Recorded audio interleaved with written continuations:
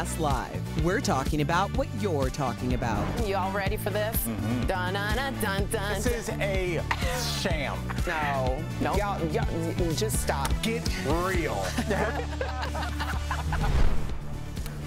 Welcome to DBL. If you notice, we're all wearing something orange today. Lindsay the most. I'm wearing a full three-piece orange suit. Which is, I appreciate. Jeff's got a, a, pocket square. I got my earrings and my, my jewelry.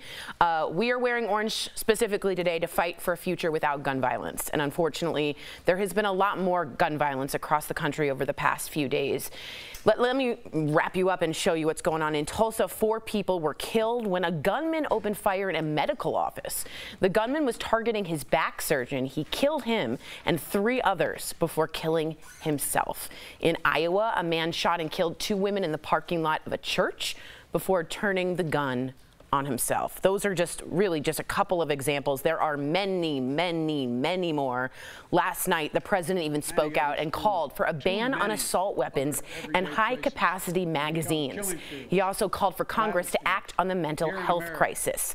Now, some states are already taking action. In New York, yesterday, they voted to ban anyone under the age of 21 from buying or even possessing semi automatic rifles. But in Florida, the governor vetoed a planned practice facility for the Tampa Bay Rays after the team spoke out calling for donations for a gun control group.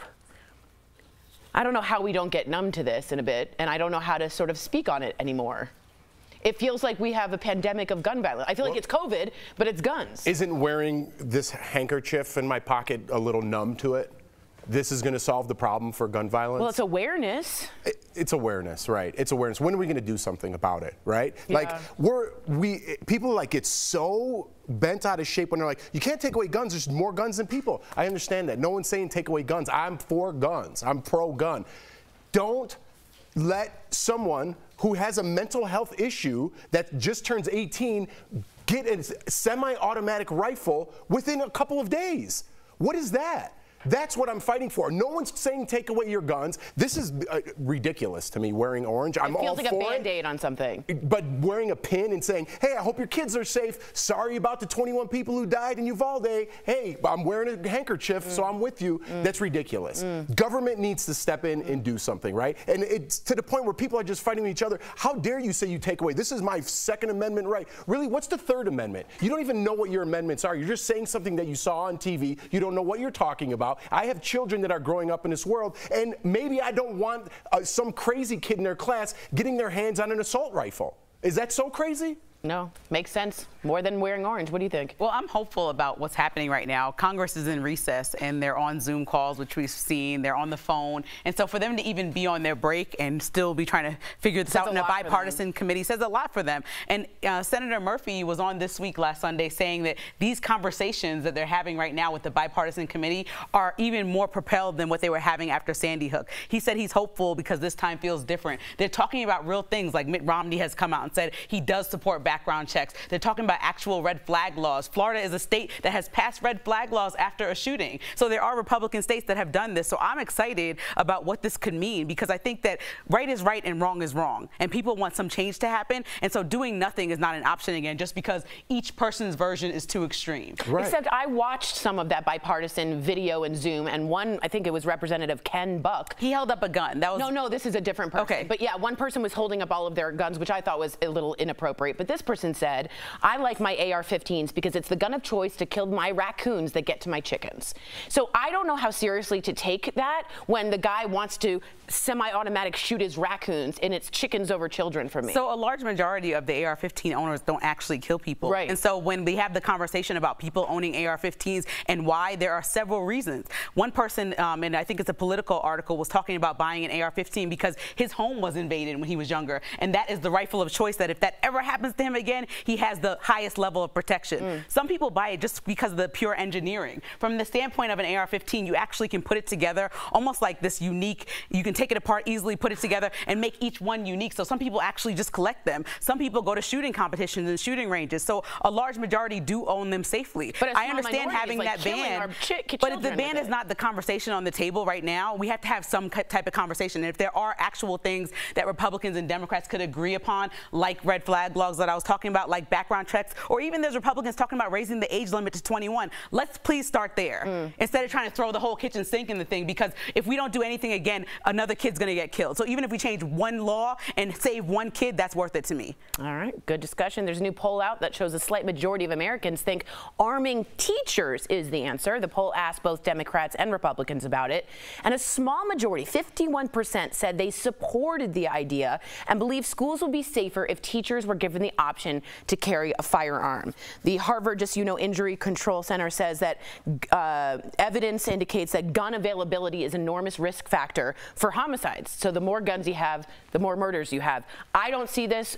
Do you feel safer with Layton and Lawson with a teacher with a gun in the class? I, again, this is another I'm just some guy on TV, right? You know what I mean? So it's like, here's my take. You represent a lot of people. If though, you if you're in the military, let's yeah. just give an example. If you're in the military, or you, you, know you know how to handle you've around guns your whole life. You're very you have your case. You're very um, careful with it. I should say. Very responsible. Yep, yep. That's the word I was looking for. Very responsible, right? And you happen to be a third grade teacher, and you say, hey, listen, I'm willing to bring my firearm in here, keep it responsibly locked up in case something happens. I'm willing to do that. If you guys allow me to do that, I'm willing to do that. No one will break in. There's a code. There's a lock. But in case of some freak emergency, I, you will know, the police will know that there is someone on the inside with a firearm in room, whatever. Mm. I'm for that. If you're trying to be a teacher and you're like, well, here, listen, we're going to take a gun safety class, no. You can't start arming teachers if they don't want to be armed. But if someone is responsible and they want to bring their firearm in, I am for that. But don't you think when they came in, and Lindsay, I want to guess, and there is another gun in the mix, that's a crossfire situation and adds to what we see evident evidence that shows that would give more killings, the percentage wise. But again, my my answer is probably not logical. I'm right. just again some guy on TV. But the government's doing nothing. I feel you. So somebody needs to do something. That's you. my take. I yeah. take it. I hear yeah. that. What do you think, Lindsay? I think teachers are paid too little as is. So yeah. we're asking them to be Avengers also. Yeah. Is like a little bit much. Superheroes. You know, right? like so. I just I don't think that that's the solution. But I do think unfortunately we're at a place where we do need to ask uh, schools to figure out how they want to secure themselves better. Even though that's not the number one solution. Obviously, let's talk about the AR-15 and all the other things we just named. But we, we do need to figure out how to safely safely secure our schools mm -hmm. in a much mm-hmm. better way because the reality is that they're getting shot, yeah. shot up, not as often as other shootings, but this, it's happening. And, and, so one is too many. So I think that we have to bring those conversations to the table and not dismiss those also. I agree. Just remember, though, that 19 cops were there for many minutes and didn't do anything. So the good guys with guns did not win in that situation. Uh, a former Marine is going viral after posting a video to TikTok. He turned his guns over to police to be destroyed. Take a look at this. Today I'm turning in my weapons to the Hillsboro Police Department in Oregon both my AR-15 and my 9mm handgun. I know this will not change legislation or anything to do with gun culture in America. And hopefully America can wake up because no other country has the problems that we do with gun culture and ideation and gun violence.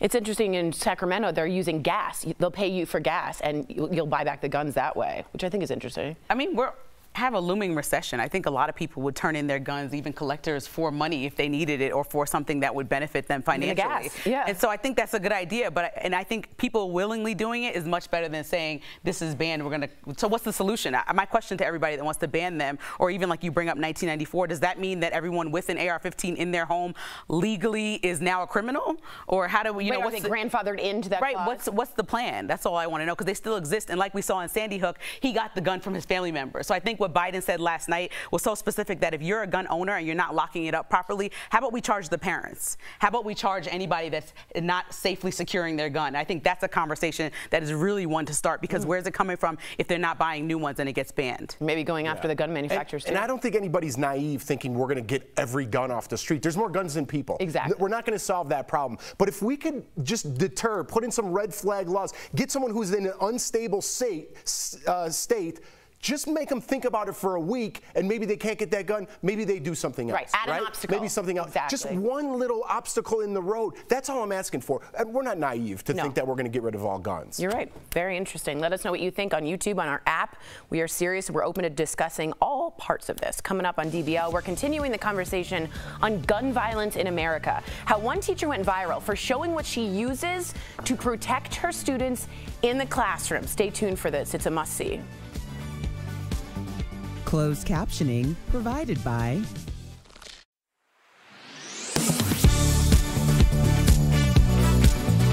This June, DBL isn't holding back. I've already spent my time and all of my sanity on trying to make you happy. I like a little cheese on my potatoes. That wasn't going on in my head. That's what we need more of, conversations in this country. Yeah, I like that. DBL is all new every day. Uh, Rolling Trouble says no guns were taken after the ban in the 90s. Again, 1994 to 2004, there was an assault rifle ban, including high capacity magazines. But that's what I'm trying to say. Like, I Right. think that if we're following that as precedent, we don't know what this new bipartisan committee will come up with. We don't think it's going to be that. But if it was, let's say, then I just want to know what's the plan. I think that gun owners, law, law-abiding gun owners, are worried. Like, okay, what does this mean for me? I can't bring my gun out to, Right. you know, what does Right. this mean for me? Yeah. I, I need to look into that more. In 1994, I was pretty young, so Yeah. I don't really know And I hear that- law in detail, which is why I, I actually called my friend who's a um, reporter this morning. I texted him like, I want to talk to you about that because Mm. I'm trying to understand what that actually means. It was ongoing, so you f- no further assault ban uh, assault rifles were able to be bought, but those already in the street, as Jeff said. There's more guns than people. Is that going to do anything? And again, you and I and Jeff all say little steps, little steps. But I just want to say why we wear orange. In January uh, 21, 2013, Hadiya, I hope I'm saying that right, Pendleton, uh, marched in Obama's second inauguration parade. One week later, she was shot and she was killed in a playground in Chicago. She loved orange, and right away, people started wearing orange for Hadiya Pendleton. So that is the person that we are wearing orange for, and it stands for, again, ending gun violence in America, which, again, only happens here and everywhere else has the same issues that we're sort of dealing with. I think the right to bear arms doesn't take the right for life for children. See, I, I, I know some people think the Second Amendment is absolute. I think the word amendment makes it not absolute, and I think we can start changing that. But that's a very strong progressive take, and many people disagree with me, and I know that. Sharon behind the camera. Yes, man. sir. Kinsley has this thing where we have to clap for her and give her a round of applause Oh, for she's no like reason, me. Oh, she's and she like loves it very much. So I'm thinking she might, yeah. she might do something that like, I don't know, Tori. What's Sure, she that was do for her weird. Were, we, what were we just saying hi? She's directing you. So what, what did you like, say? a, like little- an orchestra composer. Is that what they're called? I, I gotta, Got I so gotta just dirty bye bye. So just.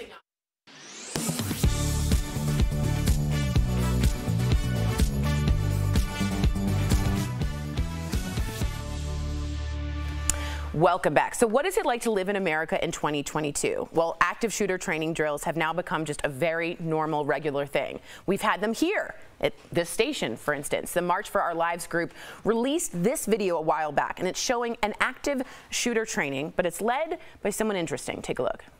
Today, we're going to be learning what to do in the event of an active shooter. Um, we're going to bring in a special guest. She's actually an expert on this. This is Kaylee.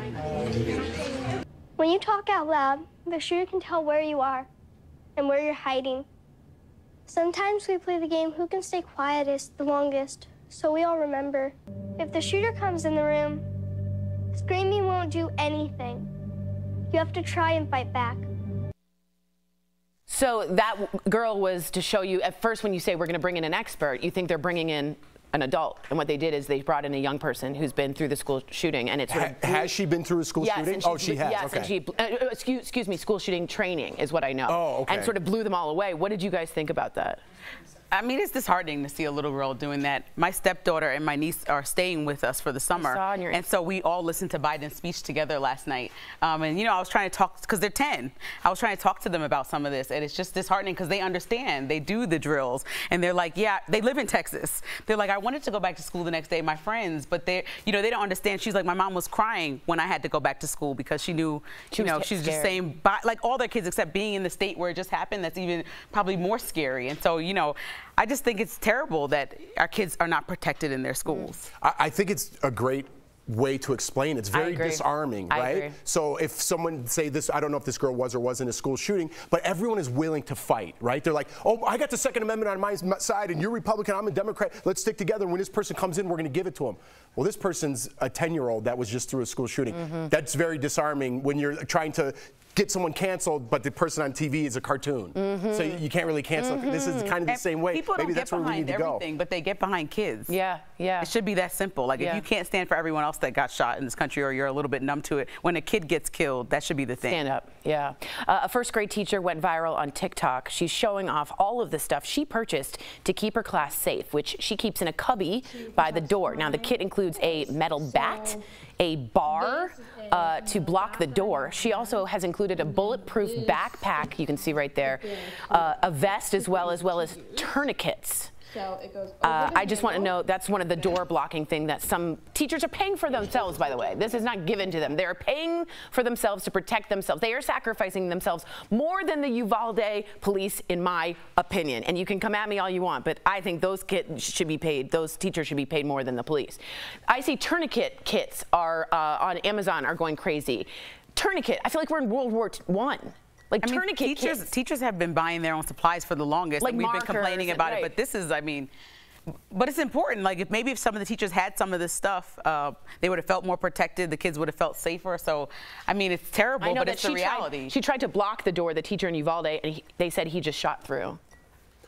Listen, I, I, I don't know. We could talk about this all day, but it's like what all, all that stuff's great and that cool little invention's great. But when someone has two AR assault rifles Thank you. flying through the door, Thank you. your tourniquets and your little plastic thing holding Thank the door you. shut doesn't work. Exactly. Right? It doesn't work. well, it works if the police come in in a fast manner. You I know, and agree. they're not in your classroom. It would yeah, help. no, I, all for it. Good. I never agree. Yeah.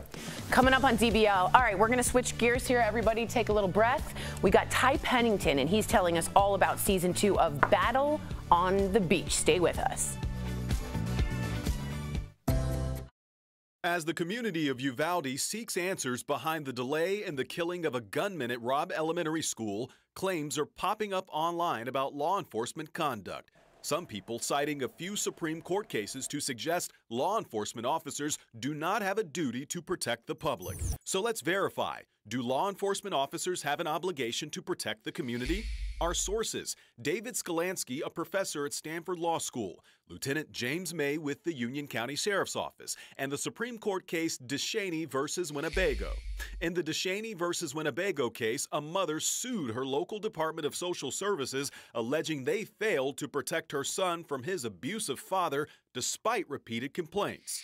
Supreme Court said that police departments and local governments don't owe duties to protect two particular individuals. They owe a duty to the public to protect.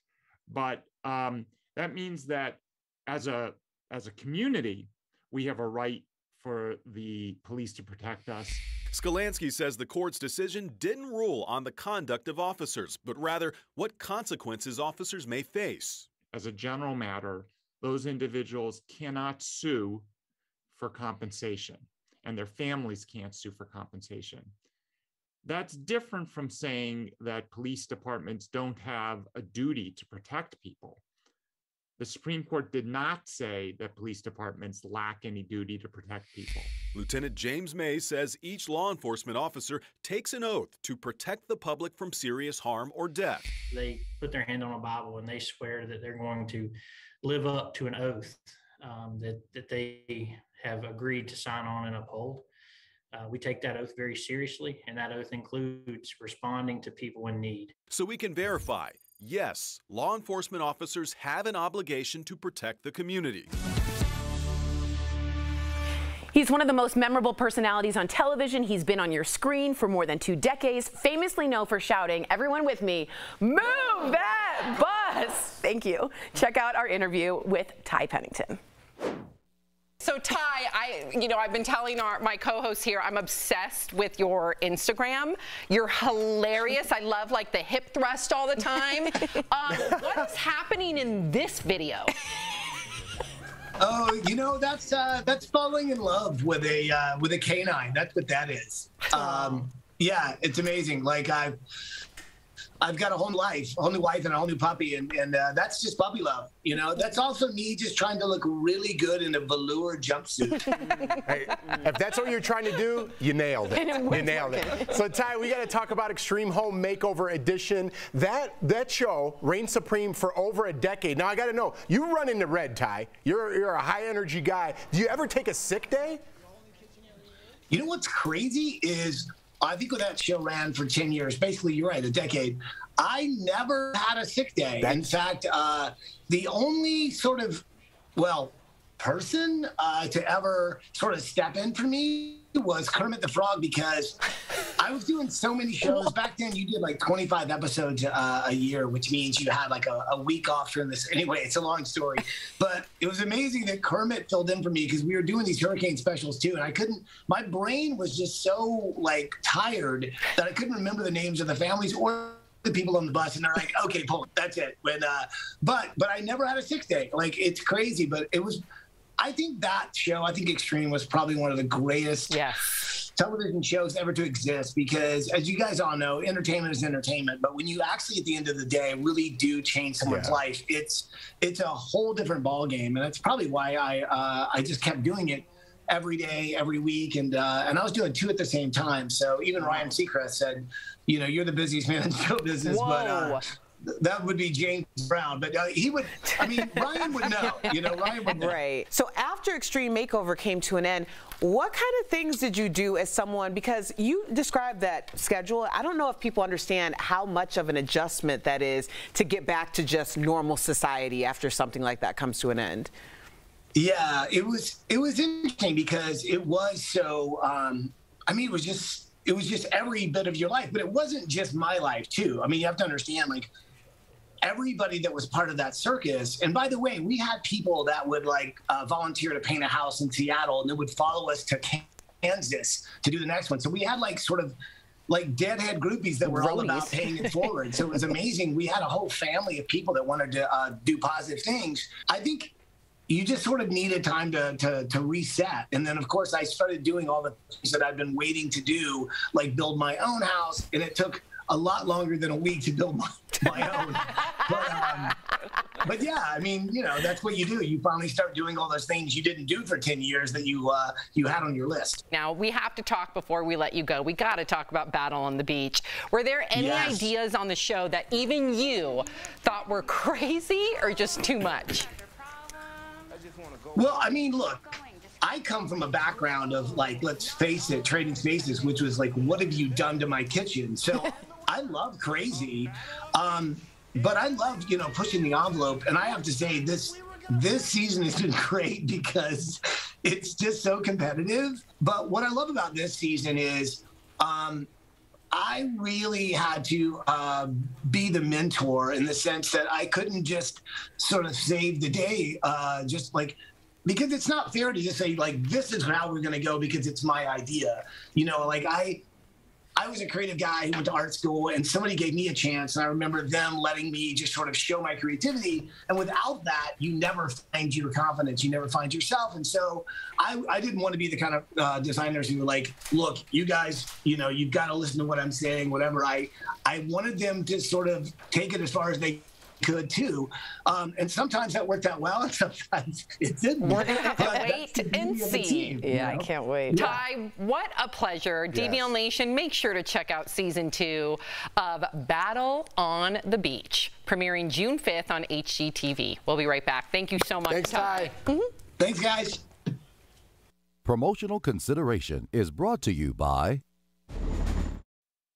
Of all the common tick-borne illnesses, Lyme disease can cause some of the most painful problems, even brain damage if not treated early.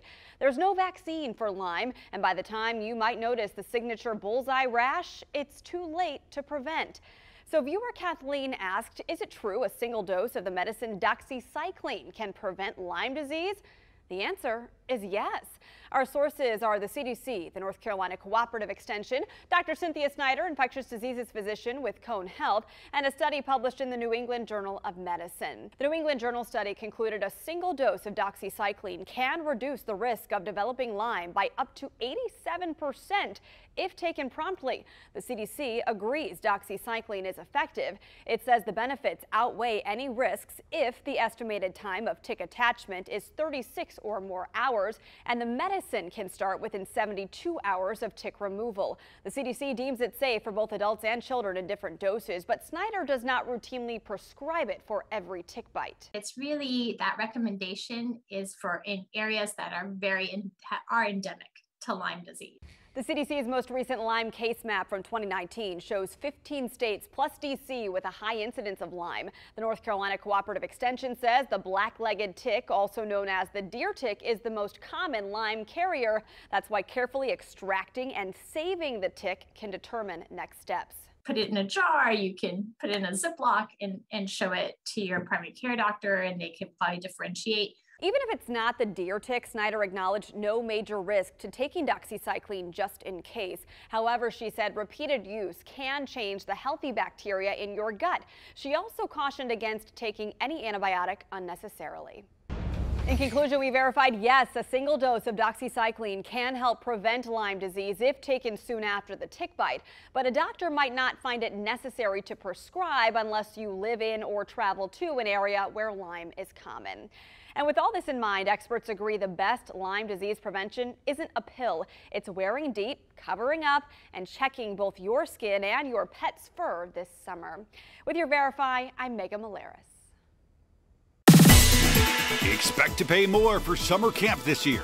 Let's connect the dots. According to the American Camp Association, the average cost of day camp has more than doubled from $76 last year to $178 this year and sleepaway camp has tripled up to $449 a day. A lot of this can be blamed on inflation. The president of the American Camp Association told Yahoo Finance News everything from labor costs, food, supplies, and COVID safety precautions are costing more for summer camps. All this after a tough couple of years for camps. In 2020, only about 20% were in operation thanks to the pandemic. Last summer, about two thirds of camps were open. While more are expected to be open this year, it could still be tough to find a camp that fits your budget. And that is connecting the dots.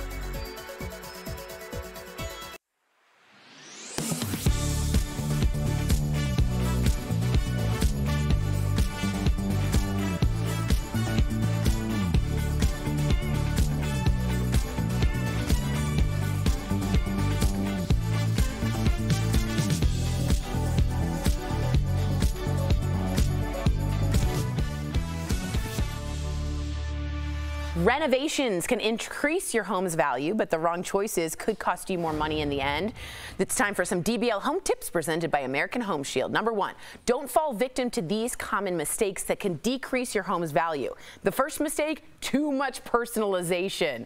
Don't get too personal with custom features that do not appeal to the average buyer. You live there though. No, you don't want it to be like, this is a Pulp Fiction house, you know, like. Uh, next, adding more living space by converting your garage can significantly decrease your home's value if you live in a cold climate. And adding brightly colored siding and doors might make your house stand out, but for all the wrong reasons. Instead, get colorful with flowers and plants. And remember, an American Home Shield home warranty plan helps cover many things homeowners insurance leaves out, like breakdowns of major components of home systems and appliances. So you can rest easy knowing whatever happens, you will be ready. Visit ahs.com to find a plan that's right for you. Nice, Tori, getting it done. You got it done. That, that classic uh, Pulp Fiction house. yeah, I know. I got one of those.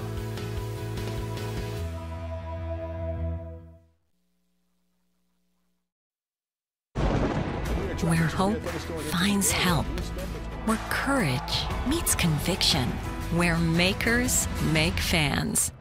We are Tegna, a family of local and national media brands that bring us together, serving the greater good of our communities, where national know-how backs local business. Be in good company with Tegna. This June, DBL is holding nothing back. I've already spent my time, my resources, and all of my sanity on trying to make you happy. Whew, all right. No, we're holding you as accountable adults. It needs to be changed. We're in a fight already. I'm all in with an E now. You are? Absolutely not. No. First girlfriend in Hollywood. Wow. Yes, baby. I'm looking at a cutie, okay? I love what you're doing. I just want to thank you. Honestly, that's why we watch. Right, yep. DBL is all new every day.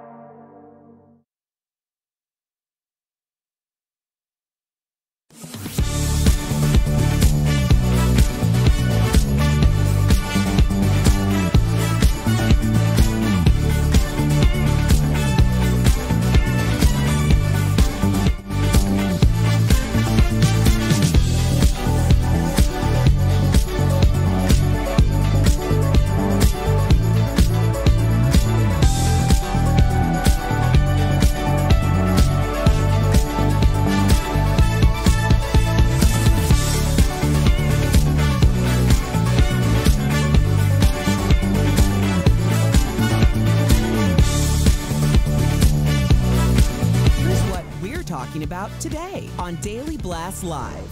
More lives lost in two more mass shootings as President Biden calls for gun control. How many more innocent American lives must be taken before we say enough? Plus, a new poll reveals the majority of Americans think teachers should be armed. Do you agree? A new true crime podcast investigates the tragic murder of a transgender teen, how the hate crime created a law for other families seeking justice. William and Harry sit on opposite sides at the Queen's Jubilee. Is there a royal rift between the brothers? Plus, why did the Queen have to miss part of her own party? And can you spell victory? A champion is crowned in a first ever lightning round tiebreaker at the Scripps National Spelling Bee. She is the 2022 Scripps National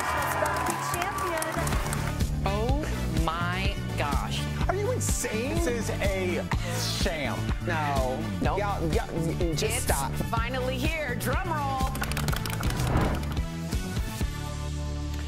Welcome to DBL. Very important day today. If you notice, we are all wearing orange or something orange. That is because it is Wear Orange Day to fight for a future without gun violence. And unfortunately, there has been a lot more gun violence across the country over just the past few days. In Tulsa, four people were killed when a man opened fire in a medical office. The gunman targeted his back surgeon and killed three others before killing himself. In Iowa, a man shot and killed two women in the parking lot of a church before turning the gun on himself. And unfortunately, those are just a couple of examples. There's many more, many, many, many, many more. Well, last night, the president called for a ban on assault weapons and high capacity magazines. He also called for Congress to act on the mental health crisis. Now, some states are already taking action. In New York, they voted yesterday to ban anyone under the age of 21 from buying or even possessing semi automatic rifles. However, in Florida, the governor vetoed a planned a planned practice facility for the Tampa Bay Rays after the team spoke out calling for donations for a gun control group. Tori, what do you think about all the recent news, the action or inaction? Yeah, sometimes I feel like Biden is doing his best, but he's sort of speaking into the wind. I know there's a bipartisan group of people that got together and tried through Zoom to make something happen. They do say they might be doing some universal background checks. But then one senator brought up guns and showed his own guns. Another representative said, I use AR 15s to shoot my raccoons so they don't go to my chickens. So I really don't know how much progress we're making. I'm proud that we're wearing orange. Do I wish sometimes that our country just had a fully different group of politicians that saw it a completely different way? Yeah, I do. And I hope that the Parkland aged kids somehow run for pre uh, president and, and, and for politics so that we get them in our in our government. This at this point, we're acting crazy. We do the same thing over and over again and expect a different result. That's insane. Insanity, insanity, excuse me. Yeah, I think I, I agree with what you're saying, but unfortunately, especially when there's so much money to be made um, for every um, Parkland survivor who is stepping up, there's going to be someone who has a legacy plan to keep money in their families. Um, this is about money. And until we find another way to combat people getting rich off of sticking together, because we know one thing that money can do is bond people. Like we all up, rise up together, but we don't necessarily all fall together, which goes back to my point yesterday. If we start segmenting out these groups between the manufacturers, between the lobbyists, between the politicians, between the NRA, if you go after one, they're going to have to make a decision. If one person starts bleeding financially, they're going to have to make a decision if they're all still in this together. Well, they're going to have to watch out because I can't tell you how inspired I am going to my first Moms Demand Action meeting, which is in part with Everytown. So it's the same organization. And let me tell you, that room was crowded with people energized, hopeful, and ready to get stuff done. And apparently, this last month has been the largest number of new volunteers than ever. And there is hope out there. There is change already happening. We've had some recent bills passed here in Colorado. So things that can curb gun violence right away, yes, increasing that age limit, right, from 18 to 21. Waiting periods, red flag laws, which we have here in Colorado, but unfortunately some of our neighboring states don't. So there are things we can do right now that can curb those gun violence deaths. Will they eliminate them completely? No, but we are making steps. And I don't want anybody out, out there to feel hopeless and helpless because let me tell you, there are millions of people fighting back the NRA and there is millions of donations going into Everytown right now. So the NRA is going to have a lot of angry moms and dads and civilians out there ready for change. So I'm energized and I think that finally the straw has broken the camel's back so to speak. Uh, Al, there is a new poll out there, though, that shows as a former teacher, okay, Al used to teach, that there's a slight majority of Americans think that arming teachers is the answer. The poll asked both Democrats and Republicans about it, and 51% said that they supported the idea and believe schools would be safer if teachers were given the option to carry a firearm. As a former teacher, how do you feel about this personally, and how do you feel about this generally, if, if it's a good solution? I mean, I, the, the amount of selfishness is staggering. I'm really glad that we can cross the aisle when it's time to decide somebody else should do something, especially when these are also the same people that we don't want to pay. Yeah, Remember that's that? And they're not allowed to say certain things at work, otherwise they'll be sued. So, okay, so now you're a teacher, Erica, but here's what you also need to do. You need to work with uh, no funding. Uh, you need to work in a school system where you have zero backup. Uh, if you say anything related to any type of sexuality, you will be sued. And you also need to figure some time in your weekend, Erica and Tori, to do some tactical training. You know? So I'm sure you'll be reimbursed for that. But yes, we want our teachers in all camo. They should be able to do just some basic shooting drills because we all. Do you guys understand? how hard it is to just hit a target at a Right. target. pri- What now? Let's throw a moving target and also other 400 tiny little moving targets. You have been uh, in continuing education, so you should be well suited for that situation. So with that in mind, I think we're all set. And it, it- that the amount of sarcasm with what I just said is enough to kill a horse.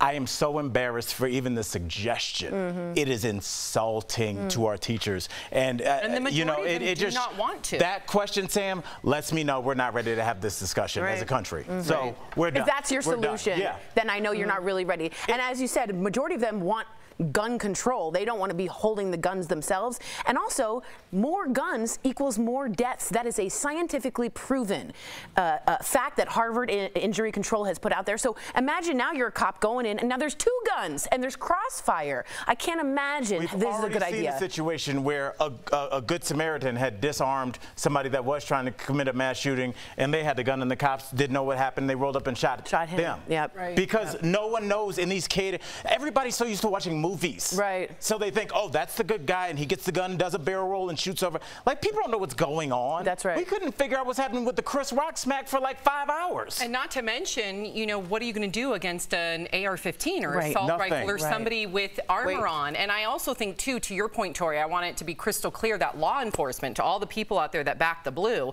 law enforcement is against this because they've seen far too many times, not only law enforcement, but also school resource officers and school safety officers have seen far too many times, knowing the statistics, that the closer proximity a gun is to a child, the higher likelihood that something bad will happen. Bad will happen. So they are against arming teachers as well. Wow. Erica? No, uh, you said against an AR-15, we don't know what would happen. What would happen is um, people who actually are supposed to protect and serve and have guns wait 90 minutes while children get shot. Right. That's Yes. we That's- know. right. So it's not a question. wow.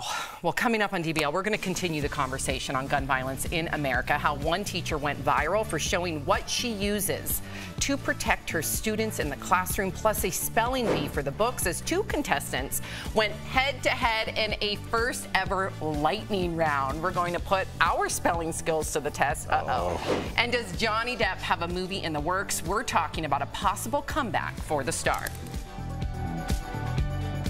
Closed captioning provided by This June, DBL is holding nothing back. We're holding you as accountable adults. It needs to be changed. This is what you want, and this is what you're gonna get. If we're gonna be real, let's be real. Honestly, that's why we watch. Right, yep. DBL is all new every day.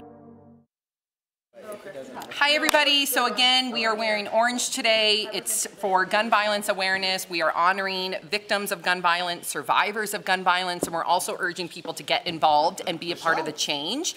Some ways that you can do that you can join Brady, you can join Moms Demand Action, you can join Everytown, Gifford. There's a number of different organizations that are going full force, working with our politicians, creating common sense gun laws. They're, this is bipartisan. So, you have Republicans and Democrat members that are going going to these meetings. None of these organizations are trying to take away your guns or the Second Amendment. They're there to, to simply give common sense gun laws. And we always think about mass shootings, which we should. It's horrific. Our children do not deserve this. But there's many little things that we can enact right now by just going door to door and making sure if you have a, a neighbor that is a gun owner, that they're responsible, that they are a responsible gun owner. If they need a lock, guess what? Any of those organizations will provide a, a free lock for them.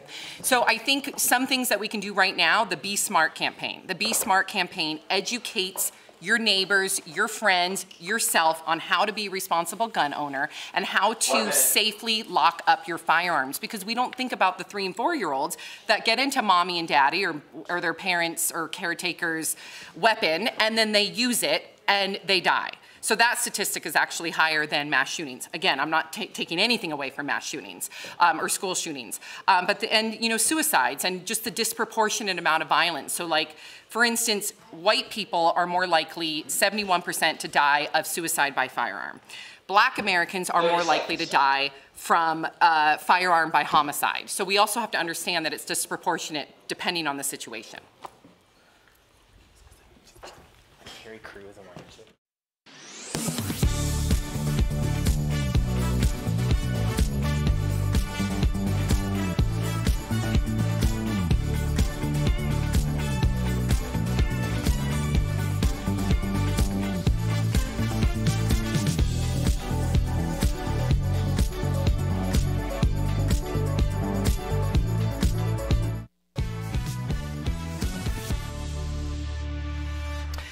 Welcome back. So, what is it like to live in America in 2022? Well, active shooter training drills have now become a regular thing. We've had them here.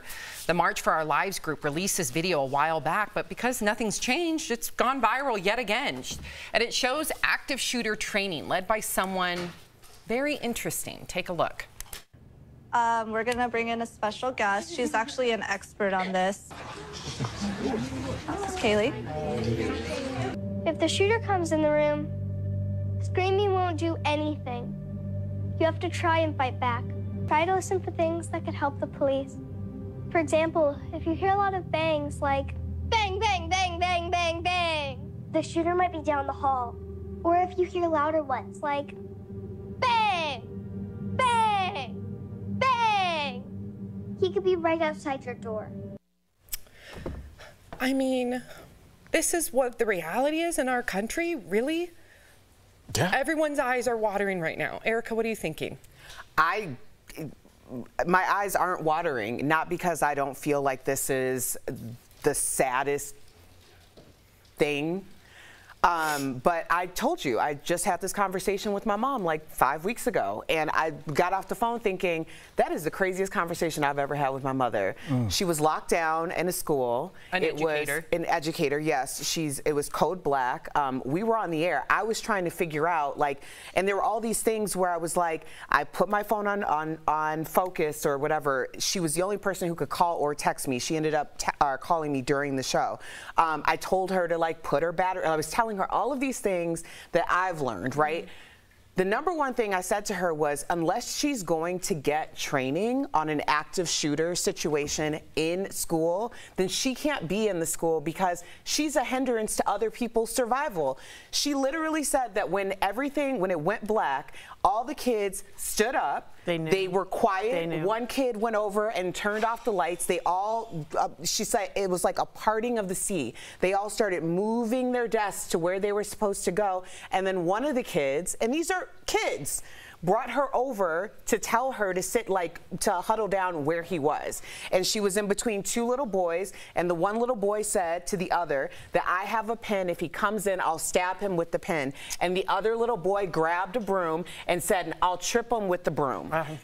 Like that's I what's know. happening. I want it because you brought up your your mom being a teacher. I want to talk about this teacher, and then Tori and Al, please respond. This is a first grade teacher who went viral on TikTok. She's showing off all the stuff she purchased to She keep her class safe, which she keeps in a cubby by the door. the kit includes a metal bat, a bar to block the door. She also has a bulletproof backpack with a bulletproof vest as well as Barracuda. Tourniquets. super easy to use. Yeah. This So is it goes the- over what, the the- Sam. What are you surprised about? We have military. surprised, I'm upset. You know, you should be. I'm glad you are. It shows that you still have your humanity inside of you. But we started handing out military-grade weapons to random people on the street. So yeah, our teachers have to have military-grade ways to defend against that and repair themselves like a soldier would on the battlefield. Only in this case, it's a room filled with children's drawings and backpacks and little shoes at the door. This is your your letter grade for your life, for being an adult, is the generation of kids right behind you, and the kids that we're leaving that are well versed in, in, in, in tactical maneuvers in their seventh grade class, they are our letter grade as, as adults. And it's a huge F. I am ashamed of our generation of adults. We've left our kids with nothing. We've saddled them with debt. We've, uh, we, we, we've terrified them with, with, with school violence. Climate change. Climate change. It, we've done nothing. We've done nothing. We, we, we couldn't even agree on masks uh, on behalf of everybody, I'm 44. We failed you. I wouldn't listen to one adult that, that hadn't been vetted if you're a young person. Any adult, any politician, I, I, would, I would look two or three times at. We are all tainted. There is something wrong with our generation. I am embarrassed. And we all should be. And the fact that we like try and discipline them and complain about their behavior on TikTok, I wish we had a 14 year old as a president. So I. wish we had 12 year olds in, in Congress. They are way more articulate than we are, much more emotionally intelligent than, than a, a lot of my me and my cohorts. I, Look we how are, fast they all came together after Parkland. Exactly. David Exactly. Hogg, I was just thinking Look that. at that. They Mobilized. organized seconds, immediately. Some of them still had blood on their shirts when they were meeting with, with local legislators. we would have been we the would have been arguing on AOL.com. So mm-hmm. that's what our generation Come- did. Thank you for. Thank It's you for just that. big facts. We can I just know. see it. Coming up on DBL, we're going to switch gears and talk about what kids should be worrying about in school. Spelling. Wait until you see what it took for the new winner of the Scripps National Spelling Bee to take the top prize. We'll be right back.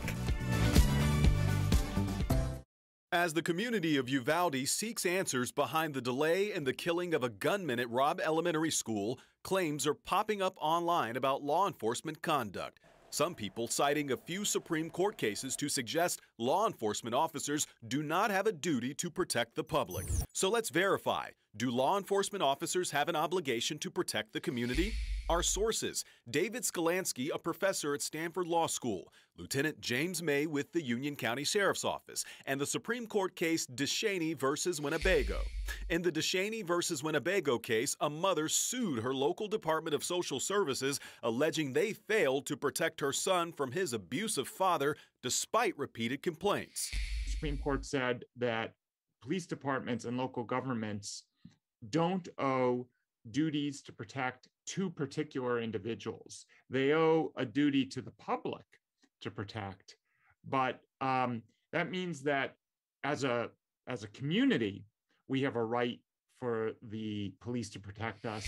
Sklansky says the court's decision didn't rule on the conduct of officers, but rather what consequences officers may face. As a general matter, those individuals cannot sue for compensation, and their families can't sue for compensation.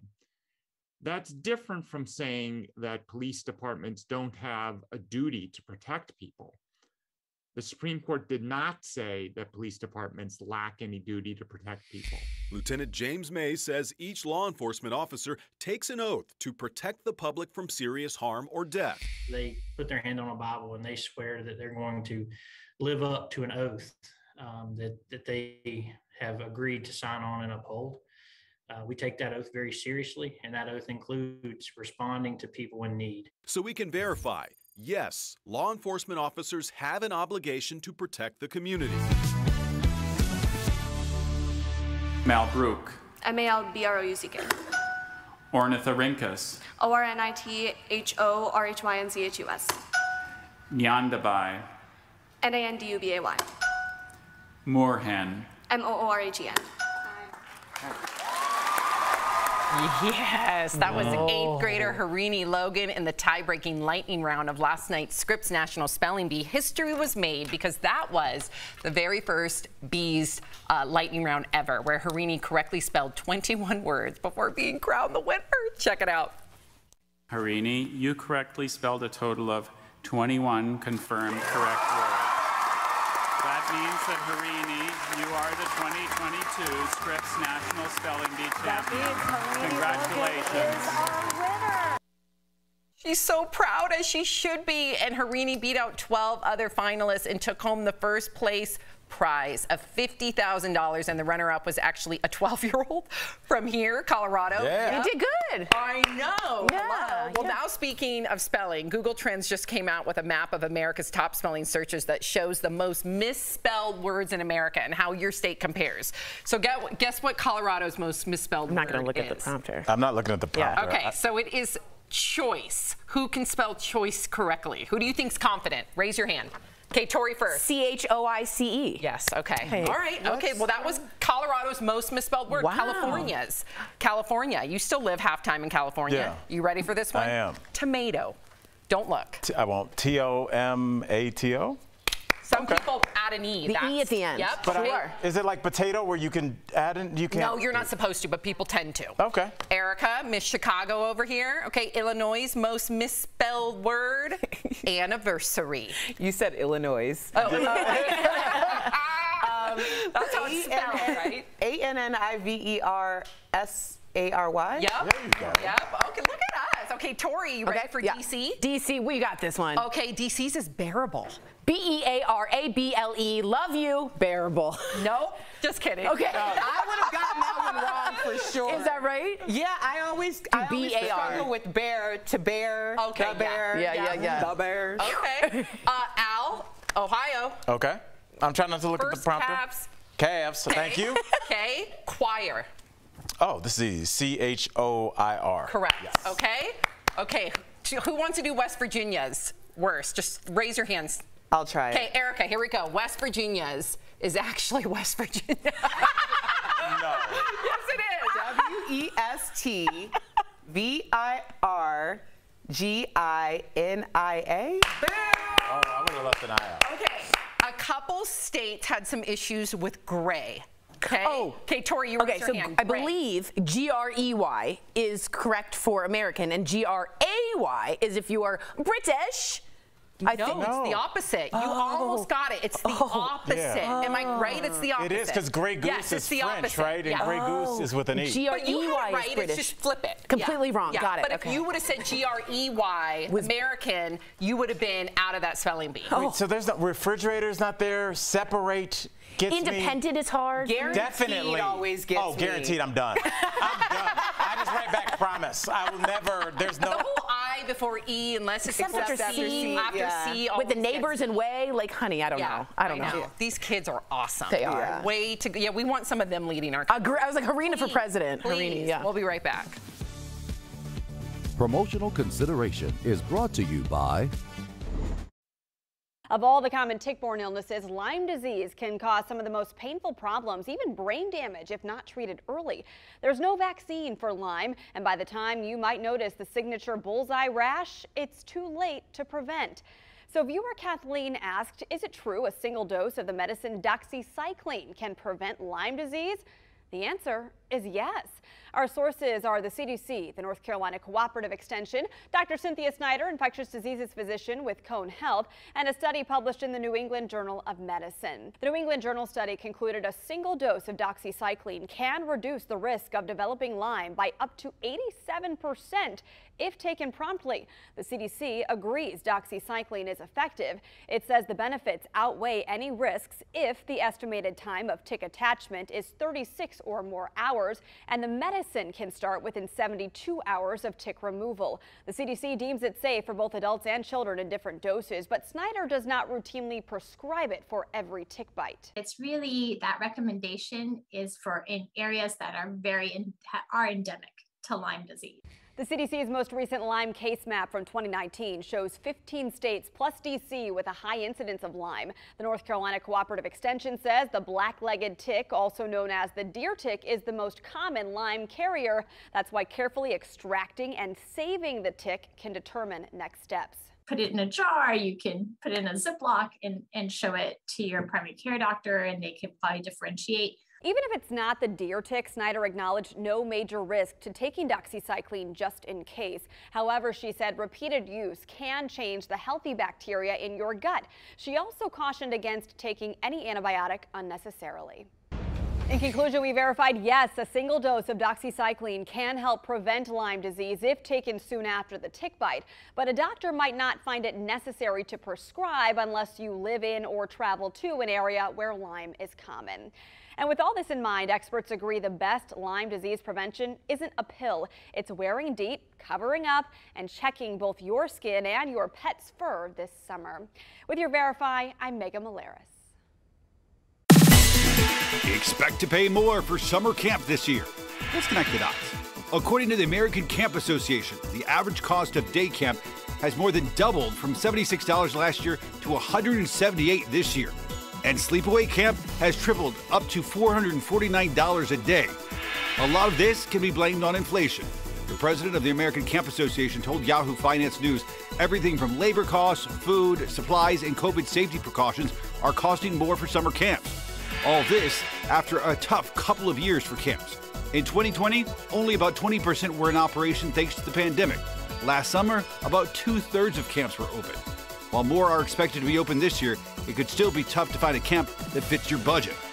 And that is connecting the dots.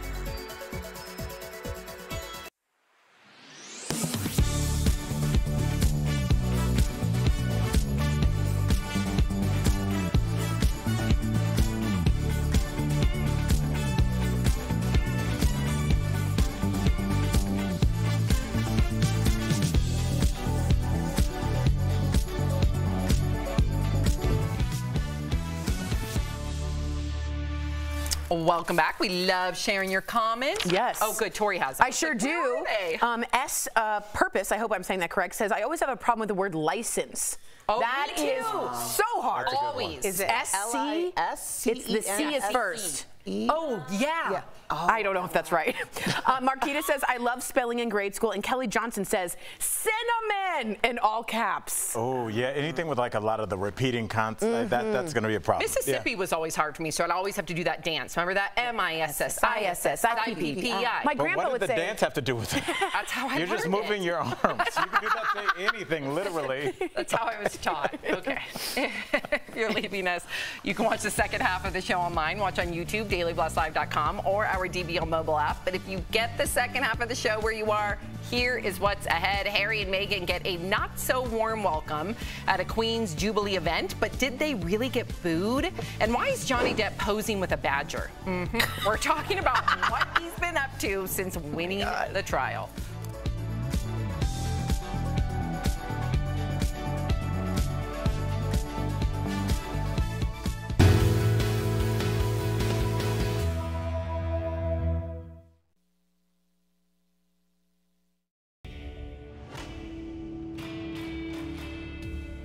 So does federal law really protect gun manufacturers from being sued? Our sources here are a trio of law professors. We also looked to the law in question, the 2005 Protection of Lawful Commerce in Arms Act, called PLACA for short. And we read through a Congressional Research Service paper. Let's start with PLCAA. It was created in part to prevent civil lawsuits against, quote, manufacturers, distributors, dealers, and importers of firearms or ammunition products for the harm solely caused by the criminal or unlawful misuse of firearms products or ammunition products. So if you're shot by a person who criminally misuses a weapon, um, this law would block you from suing a firearms manufacturer. But there are exceptions. If you buy a firearm that is defective, if you knowingly transfer a firearm, knowing that that firearm will be used to commit a crime of violence, You can sue when there's an allegation that the uh, manufacturer or dealer violated an underlying statute, either a federal or a state statute, that is, quote, applicable to the sale or marketing of firearms. And we just saw this play out in 2015. The families of nine Sandy Hook victims sued gunmaker Remington for the way they marketed the weapon used in that mass shooting. The allegation by the families was that Bushmaster was marketing uh, this gun to be used for offensive, violent conduct. In February, Remington settled for $73 million. But I don't think it really resolved the ultimate legal question as to just how big an exception is this to the federal immunity shield. So we can verify that yes, a 2005 law does protect gun makers from being civilly sued simply because their guns are used in a crime.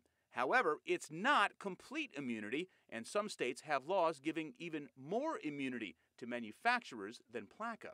With your verify. This is Daily Blast Live. We're talking about what you're talking about. Oh my gosh. Are you insane? This is a sham. No. No. Y'all, y'all, just it's stop. finally here. Drum roll. Welcome to DBL. If you're first tuning in, we are wearing orange today, or some pieces of orange, variation of orange, to raise awareness. It is the beginning of awareness of gun violence, and we honor those that have lost their lives to gun violence and to the survivors, and we hope it inspires everybody to get involved and be the change. Amen. All right, let's talk about Johnny Depp. it's been a uh, minute. it's right. It's been about 10 seconds since we mentioned him. Johnny Depp is living his best life, as you may have seen in Europe. Earlier this week, the actor was photographed holding yeah, badger. Mm-hmm. While he toured a wildlife rescue facility in England. Oh, that's sweet. I love that. I didn't realize he was at a wildlife rescue. So last night, Johnny was caught on camera joking with a kid about the finger he claims Amber severed. Uh oh, take a look. You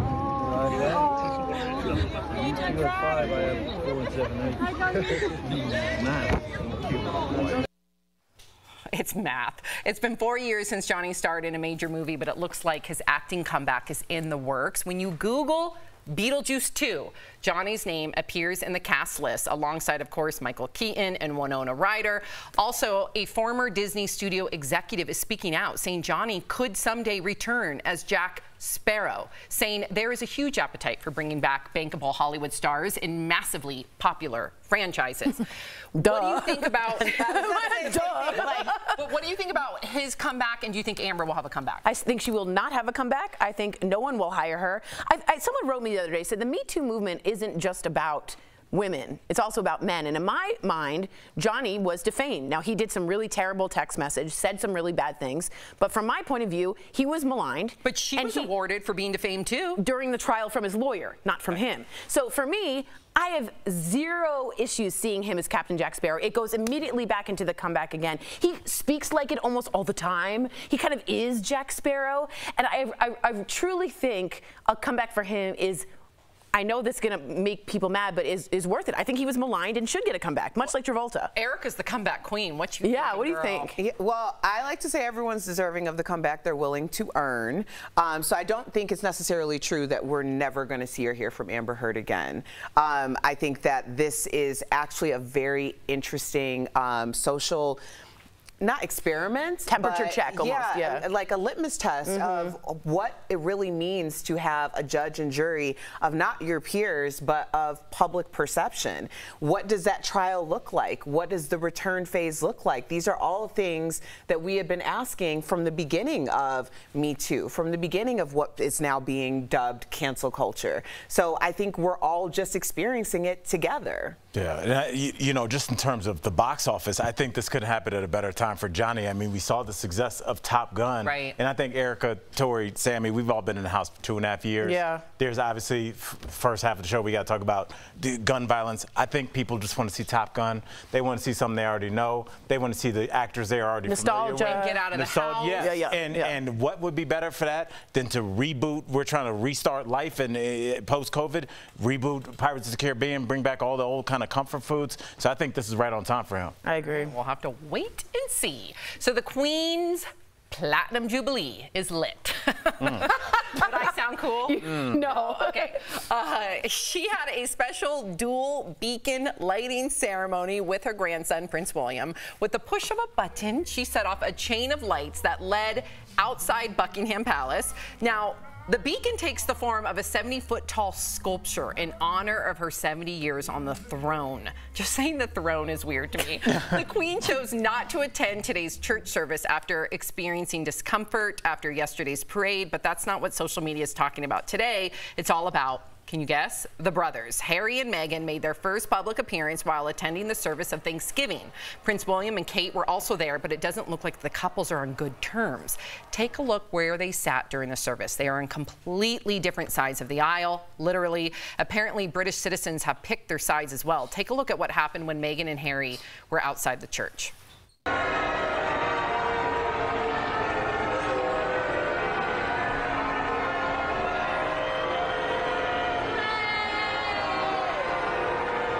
Are The- you kidding me? That the bell with the boobs What? was making me feel like I had a concussion.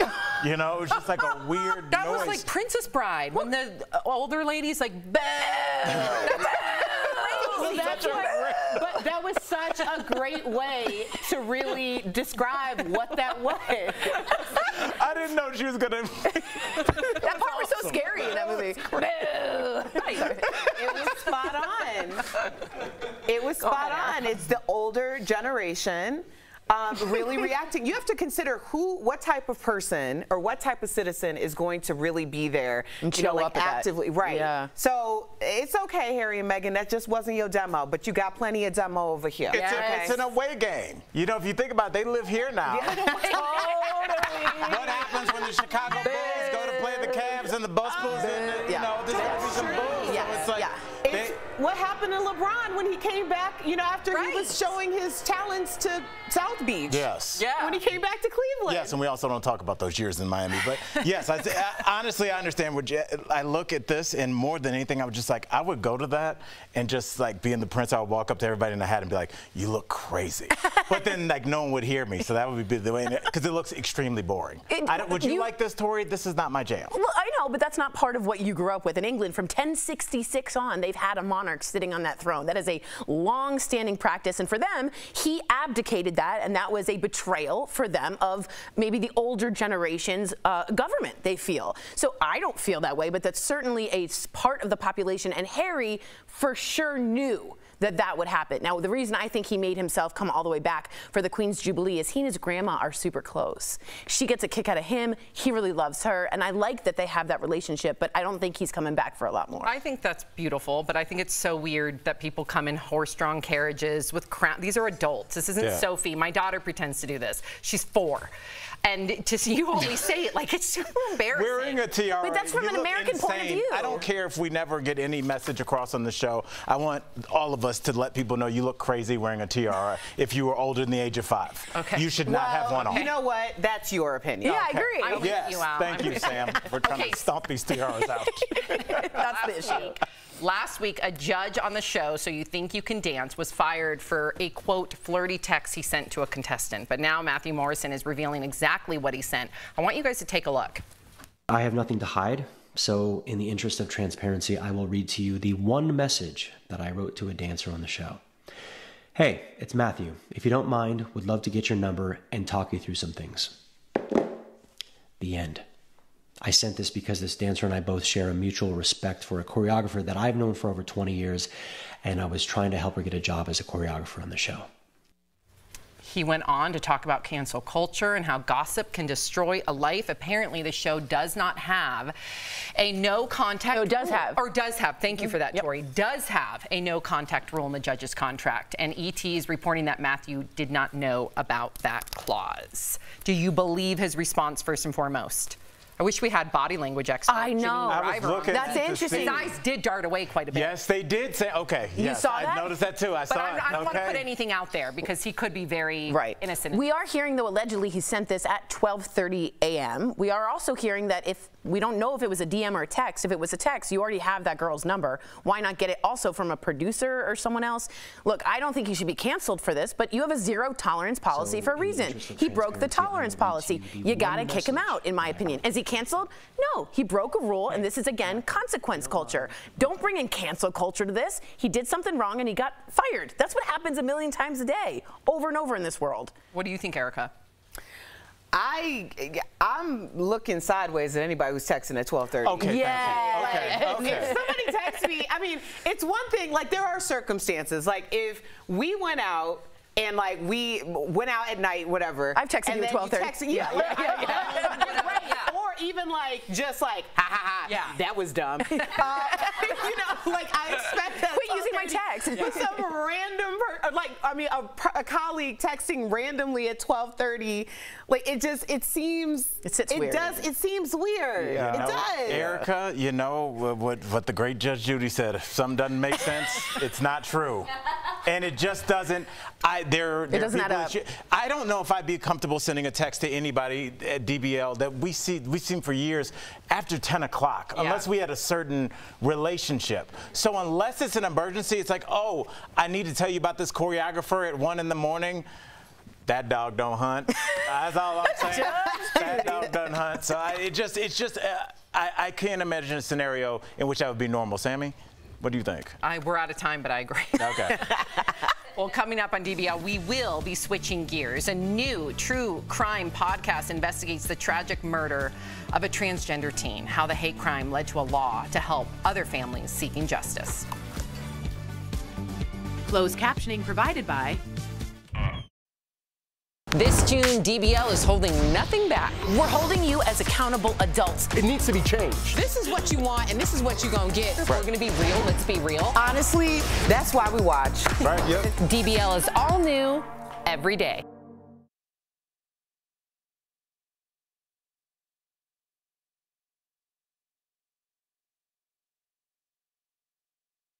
Okay, so we're talking about all the theories. We didn't talk about the idea that the show could have taped late and it could have been like an hour after they got off set. Still weird, though. It's still a little weird, but I also think so. There's this thing that people do where you lay something out very ambiguously to see if someone will bite. So if she would have responded, right, it was a bait, it could have been a bait text to see what the response was going to be. And so in that event, the fact that she didn't respond left him very vulnerable because it's saying this is completely inappropriate and I am not going to I'm following the continue to rules. entertain That's right. You know what else I thought was interesting? We didn't see the text or DM. Why don't we see it?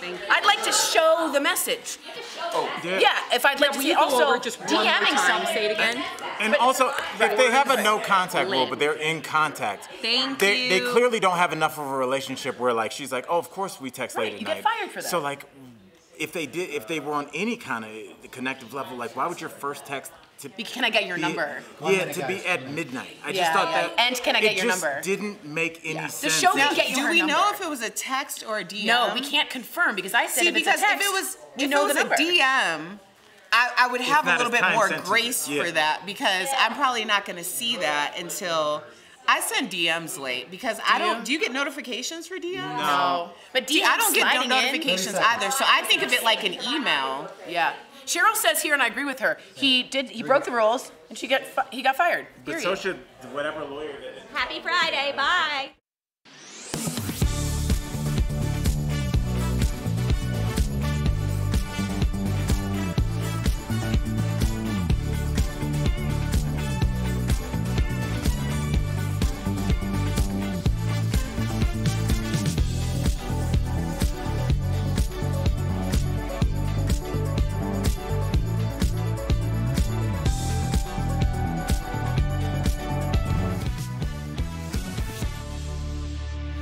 Welcome back. Nikki Kuhnhausen was just 17 years old when a 25 year old construction worker murdered her after he found out that she was transgender. Take a look.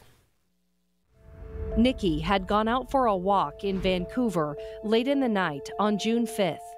She met a 25 year old construction worker named David Bogdanov. They exchanged Snapchat accounts, then parted ways. But hours later, the two communicated on Snapchat and arranged to meet back up. Investigators say during a sexual encounter, David discovered Nikki was transgender. He strangled her to death with a cell phone charging cord, then drove to Larch Mountain in East Clark County and dumped Nikki's body off a Forest Service road. For months, Nikki's friends and loved ones had no idea what had happened to her. knowing that a trans teenager and a, a trans female teenager was missing, um, those stories don't usually end very well. Then, in December of 2019, six months after Nikki disappeared, human remains were discovered on Larch Mountain. During the investigation, search warrants revealed David's phone pinged in the same area Nikki's remains were found the morning she went missing. We attempted contact with him yesterday, and he uh, declined to, to give any further statements. At that point, he was arrested for second degree murder. So understand that you're being arrested today for the murder of Nikki Kuhnhausen. David Bogdanov was sentenced to 20 years in prison for murdering Nikki, whose case is now the subject of a new true crime podcast called Should Be Alive. He's joining us to talk about. We'd like to come and welcome them to uh, Should Be Alive host and reporter Ashley Korslien from KGW, our affiliate in Portland, Oregon, and Lyndon Walls, a transgender activist and family friend of the Kuhnhausen. Thank you guys for being here. I appreciate yeah. it. Now, thanks for having us here. Thank you. Truly, thank you for being here. Lyndon, when did Nikki know they were trans? Yeah, Nikki knew she was trans from pretty early on. Yeah, even in preschool, she would often put on wigs and like to dress up as a girl and, and have other people do her makeup. So Nikki knew very early on that she was different. It may not have, she may not have been able to articulate that she was transgender, but she knew very early on that she was different and that she wanted to, to present as a girl in the world. Um, she did that within the family until about middle school, and in middle school uh, decided that it was time that she wanted to, the world to know Nikki as, as we knew her uh, starting in middle school. Yeah. Ashley, has Nikki's trans identity changed how people have responded to the case? Yeah, I think um, early on um, when we covered this case, we got a lot of really hurtful and hateful comments from people who essentially blamed Nikki, um, really sadly, saying, well, she should have disclosed that she was transgender and this wouldn't have happened. And I think there are a couple points to really dive into here. Number one, Nikki was a child. She was 17 years old who met a man who was eight years older than her. Um, he gave her alcohol. And I don't think we know that Nikki ever would have felt comfortable um, disclosing the fact that she was transgender to him um, or that she should have had to in that, um, that encounter that they had. Um, but the, at the end of the day, nobody deserves to die or be strangled or murdered because of that. And I think that's um, really at the crux of this. And I think um, Nikki's gender identity played a role in this in the sense that people who are transgender, LGBTQ plus people really saw this case and saw this murder and it really heightened the fear that people already have right. about acts of violence that are increasing and murders that are increasing against transgender Americans. And so this case really rattled those people who were already scared. And specifically, um, trans women and black trans women are most often the victims of these types of crimes. And so that's really what we wanted to highlight through this series. And thank God that you guys are, because hopefully through your knowledge, you know, it can break down a lot of the ignorance and the prejudice out there and discrimination that's the goal i mean this is a human being it's it's yeah. it's angry and it's it's heartbreaking um, lyndon how right. did nikki's family cope with her disappearance i can't imagine as a parent not knowing what happened to her for six months yeah, Lisa, Lisa really took it hard. You know, Lisa, Nikki's mom, spoke daily um, they text, they Facebook message, they talked on the phone. Um, there wasn't a day that went by that, that they didn't talk. And Lisa often talks about the fact that she, Nikki was never the one to hang up on, uh, on their phone calls. Um, mm. She always made Lisa hang up because she, she just wanted to stay there and have that extra time with her mom. So Lisa took it really hard. The rest of the family took it really hard because it was six months where they didn't know right. Where their family member was. And and early on, Lisa had been told that something had happened, and so, you know, there was a suspicion that that it may not have come, you know, it didn't have a, a good outcome. Mm -hmm.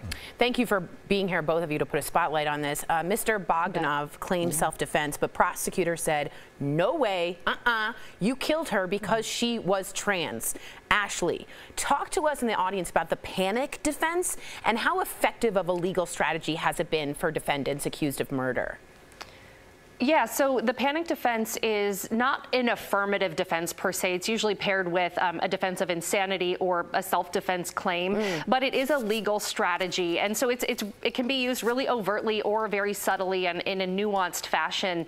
Um, it, it, it is quite rare that it is used um, throughout the history of the country, um, dating back to the 1960s. We kind of dug into the research by talking to an expert um, on this, and what we found is even though it's rare, um, it can be used quite effectively. And what it is essentially is when a defendant, um, let's say in a murder trial, will say, um, essentially they will say, I was so shocked or so disturbed that I found out um, this person I had some sort of encounter with was either gay or transgender that I freaked out. What? I flew into a rage and yes, and therefore should not be held either responsible or accountable for what I did. And that can include either a violent assault or murder. And there what? are cases of uh, what's considered overkill, where a victim will be stabbed 50 times. And so it's extremely heinous, um, these really disturbing uh, crimes. And the expert we interviewed in our podcast who studies the panic defense um, going back to the 1960s has found that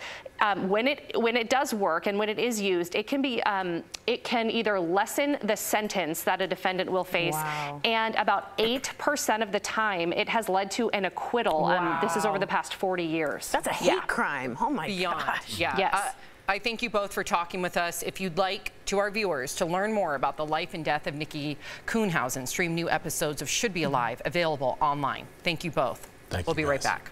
Thank you. Thank you. Suffer from as the community of Uvalde seeks answers behind the delay in the killing of a gunman at Robb Elementary School, claims are popping up online about law enforcement conduct. Some people citing a few Supreme Court cases to suggest law enforcement officers do not have a duty to protect the public. So let's verify. Do law enforcement officers have an obligation to protect the community? Our sources David Sklansky, a professor at Stanford Law School, Lieutenant James May with the Union County Sheriff's Office, and the Supreme Court case DeShaney versus Winnebago. In the DeShaney versus Winnebago case, a mother sued her local Department of Social Services, alleging they failed to protect her son from his abusive father despite repeated complaints. The Supreme Court said that police departments and local governments don't owe duties to protect two particular individuals. They owe a duty to the public to protect. But um, that means that as a as a community, we have a right for the police to protect us. Sklansky says the court's decision didn't rule on the conduct of officers, but rather what consequences officers may face. As a general matter, those individuals cannot sue for compensation, and their families can't sue for compensation. That's different from saying that police departments don't have a duty to protect people. The Supreme Court did not say that police departments lack any duty to protect people. Lieutenant James May says each law enforcement officer takes an oath to protect the public from serious harm or death. They put their hand on a Bible and they swear that they're going to live up to an oath um, that, that they have agreed to sign on and uphold. Uh, we take that oath very seriously, and that oath includes responding to people in need. So we can verify yes, law enforcement officers have an obligation to protect the community. Renovations can increase your home's value, but the wrong choices could cost you more money. It's time for some DBL home tips presented by American Home Shield. Avoid these common mistakes that can decrease your home's value. Okay, here we go. Don't get too personal with custom features that don't appeal to the average buyer. Next, adding more living space by converting your garage can decrease your home's value if you live in a cold climate. And avoid adding bright siding and doors. Instead, add color with flowers and plants. And remember, an American Home Shield Shield Home Warranty Plan helps cover many things homeowners insurance leaves out, like breakdowns or major components of home systems and appliances, so you can rest easy knowing you're ready for whatever breakdown strikes next. Visit ahs.com to find a plan that's right for you. We'll be right back. Promotional consideration is brought to you by of all the common tick-borne illnesses, Lyme disease can cause some of the most painful problems, even brain damage if not treated early. There's no vaccine for Lyme, and by the time you might notice the signature bullseye rash, it's too late to prevent. So viewer Kathleen asked, is it true a single dose of the medicine doxycycline can prevent Lyme disease? The answer is yes. Our sources are the CDC, the North Carolina Cooperative Extension, Dr. Cynthia Snyder, infectious diseases physician with Cone Health, and a study published in the New England Journal of Medicine. The New England Journal study concluded a single dose of doxycycline can reduce the risk of developing Lyme by up to 87% if taken promptly. The CDC agrees doxycycline is effective. It says the benefits outweigh any risks if the estimated time of tick attachment is 36 or more hours and the medicine can start within 72 hours of tick removal. The CDC deems it safe for both adults and children in different doses, but Snyder does not routinely prescribe it for every tick bite. It's really that recommendation is for in areas that are very in, are endemic to Lyme disease. The CDC's most recent Lyme case map from 2019 shows 15 states plus DC with a high incidence of Lyme. The North Carolina Cooperative Extension says the black-legged tick, also known as the deer tick, is the most common Lyme carrier. That's why carefully extracting and saving the tick can determine next steps put it in a jar, you can put it in a Ziploc and, and show it to your primary care doctor and they can probably differentiate even if it's not the deer tick, Snyder acknowledged no major risk to taking doxycycline just in case. However, she said repeated use can change the healthy bacteria in your gut. She also cautioned against taking any antibiotic unnecessarily. In conclusion, we verified yes, a single dose of doxycycline can help prevent Lyme disease if taken soon after the tick bite, but a doctor might not find it necessary to prescribe unless you live in or travel to an area where Lyme is common. And with all this in mind, experts agree the best Lyme disease prevention isn't a pill. It's wearing DEET, covering up, and checking both your skin and your pet's fur this summer. With your Verify, I'm Megan Malaris. Expect to pay more for summer camp this year. Let's connect the dots. According to the American Camp Association, the average cost of day camp has more than doubled from $76 last year to $178 this year and sleepaway camp has tripled up to $449 a day. A lot of this can be blamed on inflation. The president of the American Camp Association told Yahoo Finance News everything from labor costs, food, supplies, and COVID safety precautions are costing more for summer camps. All this after a tough couple of years for camps. In 2020, only about 20% were in operation thanks to the pandemic. Last summer, about two thirds of camps were open. While more are expected to be open this year, it could still be tough to find a camp that fits your budget. And that is connecting the dots.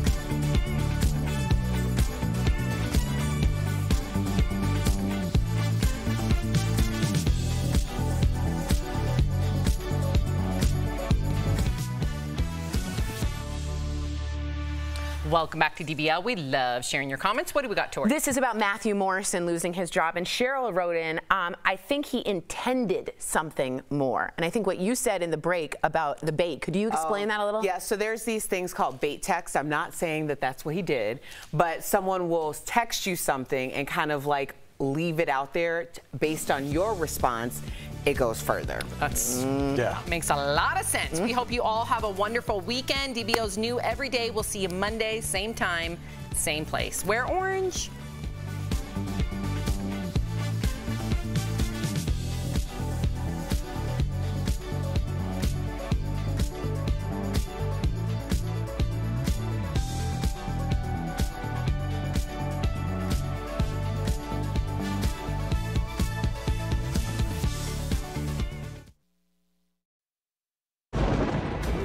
Hope finds help, where courage meets conviction, where makers make fans. We are Tegna, a family of local and national media brands that bring us together, serving the greater good of our communities, where national know-how backs local business. Be in good company with Tegna. This June, DBL is holding nothing back. I've already spent my time, my resources, and all of my sanity on trying to make you happy. Whew, all right. No, we're holding you as accountable adults. It needs to be changed. We're in a fight already. I'm all in with an E now. You are? Absolutely not. No. First girlfriend in Hollywood. Yes, baby. I'm looking at a cutie, okay? I love what you're doing. I just want to thank you. Honestly, that's why we watch. Right, yep. DBL is all new every day.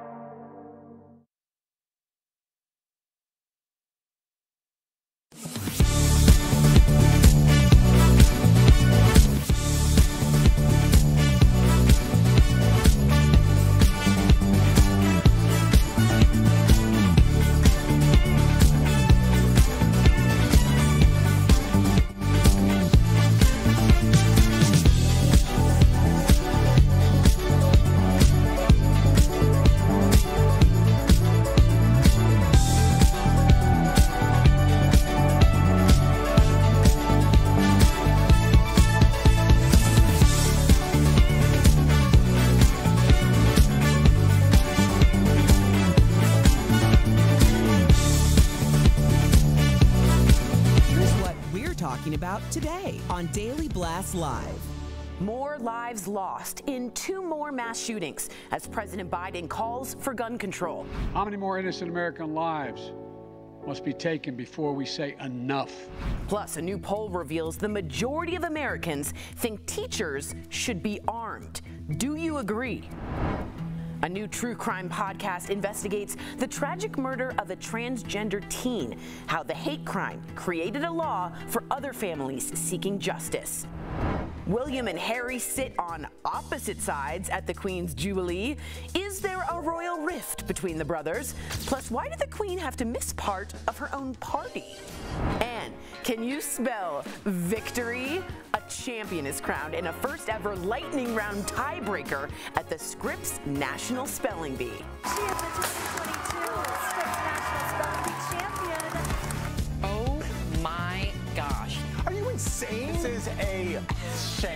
No. Nope. Y'all, y'all, just it's stop. finally here. Drum roll. Welcome to DBL. Very important day today. If you notice, we are all wearing orange or something orange. That is because it is Wear Orange Day to fight for a future without gun violence. And unfortunately, there has been a lot more gun violence across the country over just the past few days. In Tulsa, four people were killed when a man opened fire in a medical office. The gunman targeted his back surgeon and killed three others before killing himself. In Iowa, a man shot and killed two women in the parking lot of a church before turning the gun on himself. And unfortunately, those are just a couple of examples. There's many more, many, many, many, many more. Well, last night, the president called for a ban on assault weapons and high capacity magazines. He also called for Congress to act on the mental health crisis. Now, some states are already taking action. In New York, they voted yesterday to ban anyone under the age of 21 from buying or even possessing semi automatic rifles. However, in Florida, the governor vetoed a planned a planned practice facility for the Tampa Bay Rays after the team spoke out calling for donations for a gun control group. Tori, what do you think about all the recent news, the action or inaction? Yeah, sometimes I feel like Biden is doing his best, but he's sort of speaking into the wind. I know there's a bipartisan group of people that got together and tried through Zoom to make something happen. They do say they might be doing some universal background checks. But then one senator brought up guns and showed his own guns. Another representative said, I use AR 15s to shoot my raccoons so they don't go to my chickens. So I really don't know how much progress we're making. I'm proud that we're wearing orange. Do I wish sometimes that our country just had a fully different group of politicians that saw it a completely different way? Yeah, I do. And I hope that the Parkland aged kids somehow run for pre uh, president and, and, and for politics so that we get them in our in our government. This at this point, we're acting crazy. We do the same thing over and over again and expect a different result. That's insane. Insanity, excuse me. Yeah, I think I, I agree with what you're saying, but unfortunately, especially when there's so much money to be made, um, for every um, Parkland survivor who is stepping up, there's going to be someone who has a legacy plan to keep money in their families. Um, this is about money.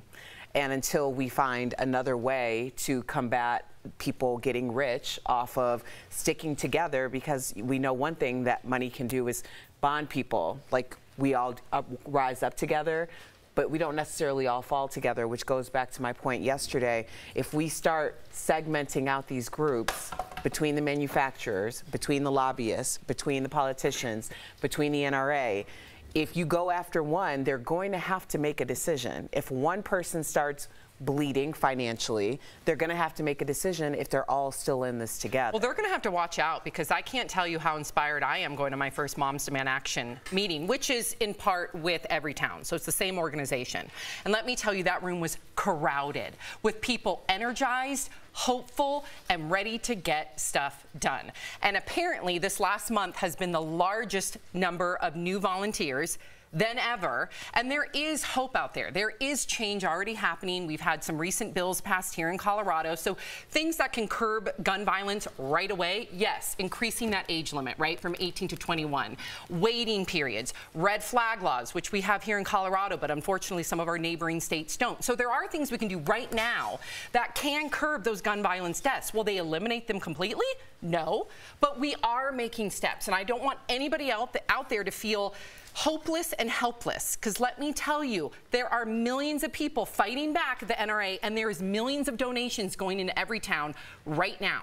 So the NRA is going to have a lot of angry moms and dads and civilians out there ready for change. So I'm energized, and I think that finally the straw has broken the camel's back so to speak. Uh, Al, there is a new poll out there, though, that shows as a former teacher, okay, Al used to teach, that there's a slight majority of Americans think that arming teachers is the answer. The poll asked both Democrats and Republicans about it, and 51% said that they supported the idea and believe schools would be safer if teachers were given the option to carry a firearm.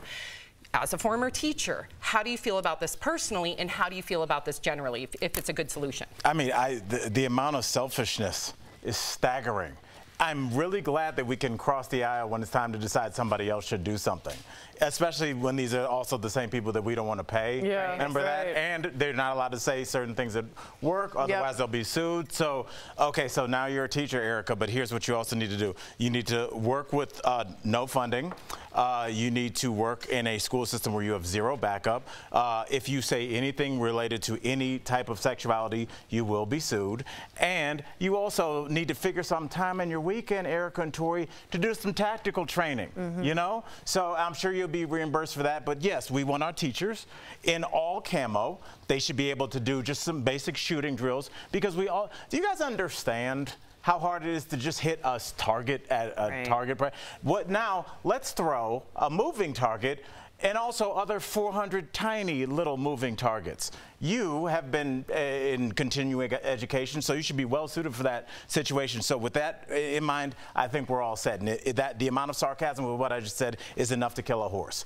I am so embarrassed for even the suggestion. Mhm. It is insulting to our teachers, and, uh, And the you know, it, it just not want to. That question, Sam, lets me know we're not ready to have this discussion as a Right. country. Mhm. So Right. we're done. If that's your We're solution, Yeah. then I know you're not really ready. And as you said, majority of them want gun control. They don't want to be holding the guns themselves. And also, more guns equals more deaths. That is a scientifically proven uh, uh, fact that Harvard I- Injury Control has put out there. So imagine now you're a cop going in, and now there's two guns, and there's crossfire. I can't imagine We've this is a already good seen a situation where a, a, a good Samaritan had disarmed somebody that was trying to commit a mass shooting, and they had the gun, and the cops didn't know what happened. They rolled up and shot, Shot him. them. Yep. Right. Because no one knows in these cater. Everybody's so used to watching movies. Right. So they think, oh, that's the good guy, and he gets the gun, does a barrel roll, and shoots over. Like people don't know what's going on. That's right. We couldn't figure out what's happening with the Chris Rock smack for like five hours. And not to mention, you know, what are you going to do against an AR-15 or Right. assault Nothing. rifle or Right. somebody with armor Wait. on? And I also think, too, to your point, Tori, I want it to be crystal clear that law enforcement, to all the people out there that back the blue, law enforcement is against this because they've seen far too many times, not only law enforcement, but also school resource officers and school safety officers have seen far too many times, knowing the statistics, that the closer proximity a gun is to a child, the higher likelihood that something bad will happen. Bad will happen. So they are against arming teachers as well. Wow. Erica? No, uh, you said against an AR-15, we don't know what would happen. What would happen is um, people who actually are supposed to protect and serve and have guns wait 90 minutes while children get shot. Right. That's, Yes. we That's- know. right. So it's not a question. Oh, wow. Well, coming up on DBL, we're going to continue the conversation on gun violence in America. How one teacher went viral for showing what she uses to protect her students in the classroom, plus a spelling bee for the books, as two contestants went head to head in a first ever lightning round. We're going to put our spelling skills to the test. Uh oh. And does Johnny Depp have a movie in the works? We're talking about a possible comeback for the star. Closed captioning provided by This June, DBL is holding nothing back. We're holding you as accountable adults. It needs to be changed. This is what you want, and this is what you're gonna get. If we're gonna be real, let's be real. Honestly, that's why we watch. Right, yep. DBL is all new every day. Hi, everybody. So, again, we are wearing orange today. It's for gun violence awareness. We are honoring victims of gun violence, survivors of gun violence, and we're also urging people to get involved and be a part of the change. Some ways that you can do that you can join Brady, you can join Moms Demand Action, you can join Everytown, Gifford. There's a number of different organizations that are going full force, working with our politicians, creating common sense gun laws. There, this is bipartisan. So, you have Republicans and Democrat members that are going to these meetings. None of these organizations are trying to take away your guns or the Second Amendment. They're there to, to simply give common sense gun laws. And we always think about mass shootings, which we should. It's horrific. Our children do not deserve this. But there's many little things that we can enact right now by just going door to door and making sure if you have a, a neighbor that is a gun owner, that they're responsible, that they are a responsible gun owner. If they need a lock, guess what? Any of those organizations will provide a, a free lock for them. So I think some things that we can do right now, the Be Smart campaign. The Be Smart campaign educates your neighbors, your friends, yourself on how to be a responsible gun owner and how to safely lock up your firearms because we don't think about the three and four year olds that get into mommy and daddy or, or their parents or caretakers weapon and then they use it and they die. So that statistic is actually higher than mass shootings. Again, I'm not taking anything away from mass shootings um, or school shootings, um, but the, and you know suicides and just the disproportionate amount of violence. So like, for instance, white people are more likely 71% to die of suicide by firearm.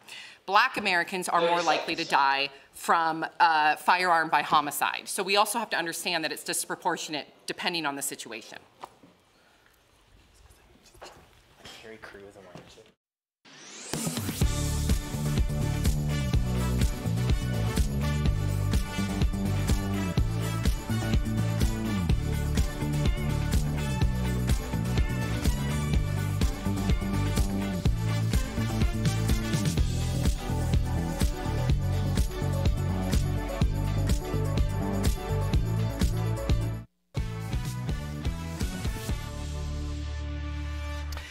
Welcome back. So, what is it like to live in America in 2022? Well, active shooter training drills have now become a regular thing. We've had them here.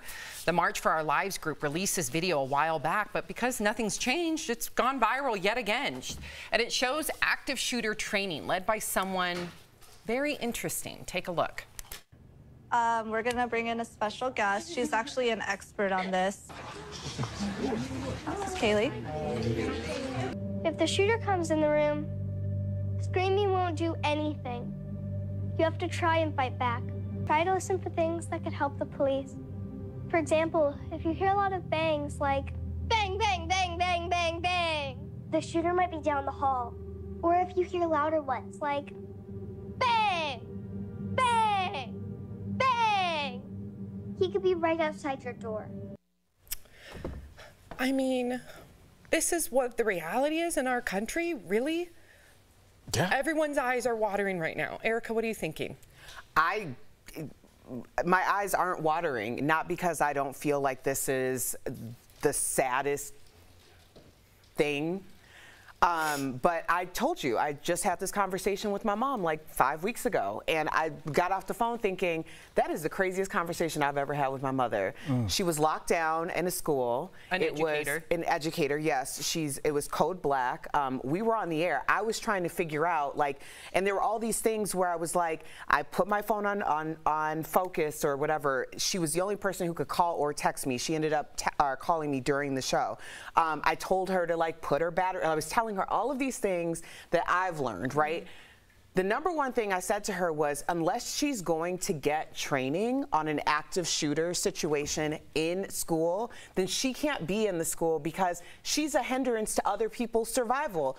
She literally said that when everything, when it went black, all the kids stood up. They, they were quiet. They knew. One kid went over and turned off the lights. They all, uh, she said it was like a parting of the sea. They all started moving their desks to where they were supposed to go. And then one of the kids, and these are kids, brought her over to tell her to sit like to huddle down where he was and she was in between two little boys and the one little boy said to the other that i have a pen if he comes in i'll stab him with the pen and the other little boy grabbed a broom and said i'll trip him with the broom like that's I what's know. happening I want it because you brought up your your mom being a teacher. I want to talk about this teacher, and then Tori and Al, please respond. This is a first grade teacher who went viral on TikTok. She's showing off all the stuff she purchased. To She keep her class safe, which she keeps in a cubby by the door. the kit includes a metal bat, a bar to block the door. She also has a bulletproof backpack with a bulletproof vest as well as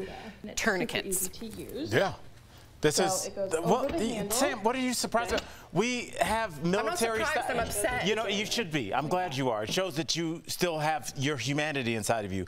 But we started handing out military-grade weapons to random people on the street. So yeah, our teachers have to have military-grade ways to defend against that and repair themselves like a soldier would on the battlefield. Only in this case, it's a room filled with children's drawings and backpacks and little shoes at the door.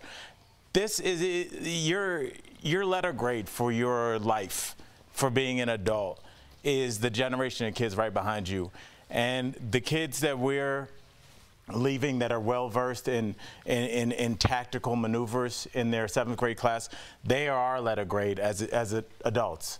And it's a huge F. I am ashamed of our generation of adults. We've left our kids with nothing. We've saddled them with debt. We've, uh, we, we, we've terrified them with, with, with school violence. Climate change. Climate change.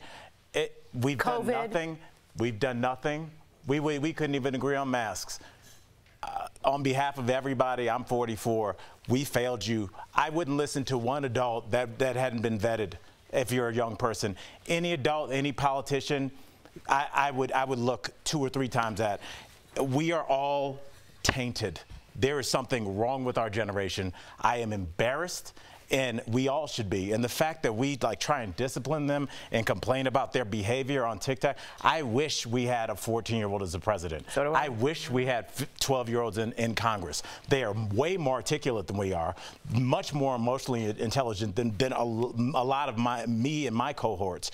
I, uh, Look we how are, fast they all came together after Parkland. Exactly. David Exactly. Hogg, I was just thinking Look that. at that. They organized In seconds, immediately. Some of them still had blood on their shirts when they were meeting with, with local legislators. we would have That's been we the would have been arguing on AOL.com. So mm-hmm. that's what our generation Come- did. Thank you for thank It's you for just that. big facts. We can I just know. see it. Coming up on DBL, we're going to switch gears and talk about what kids should be worrying about in school. Spelling.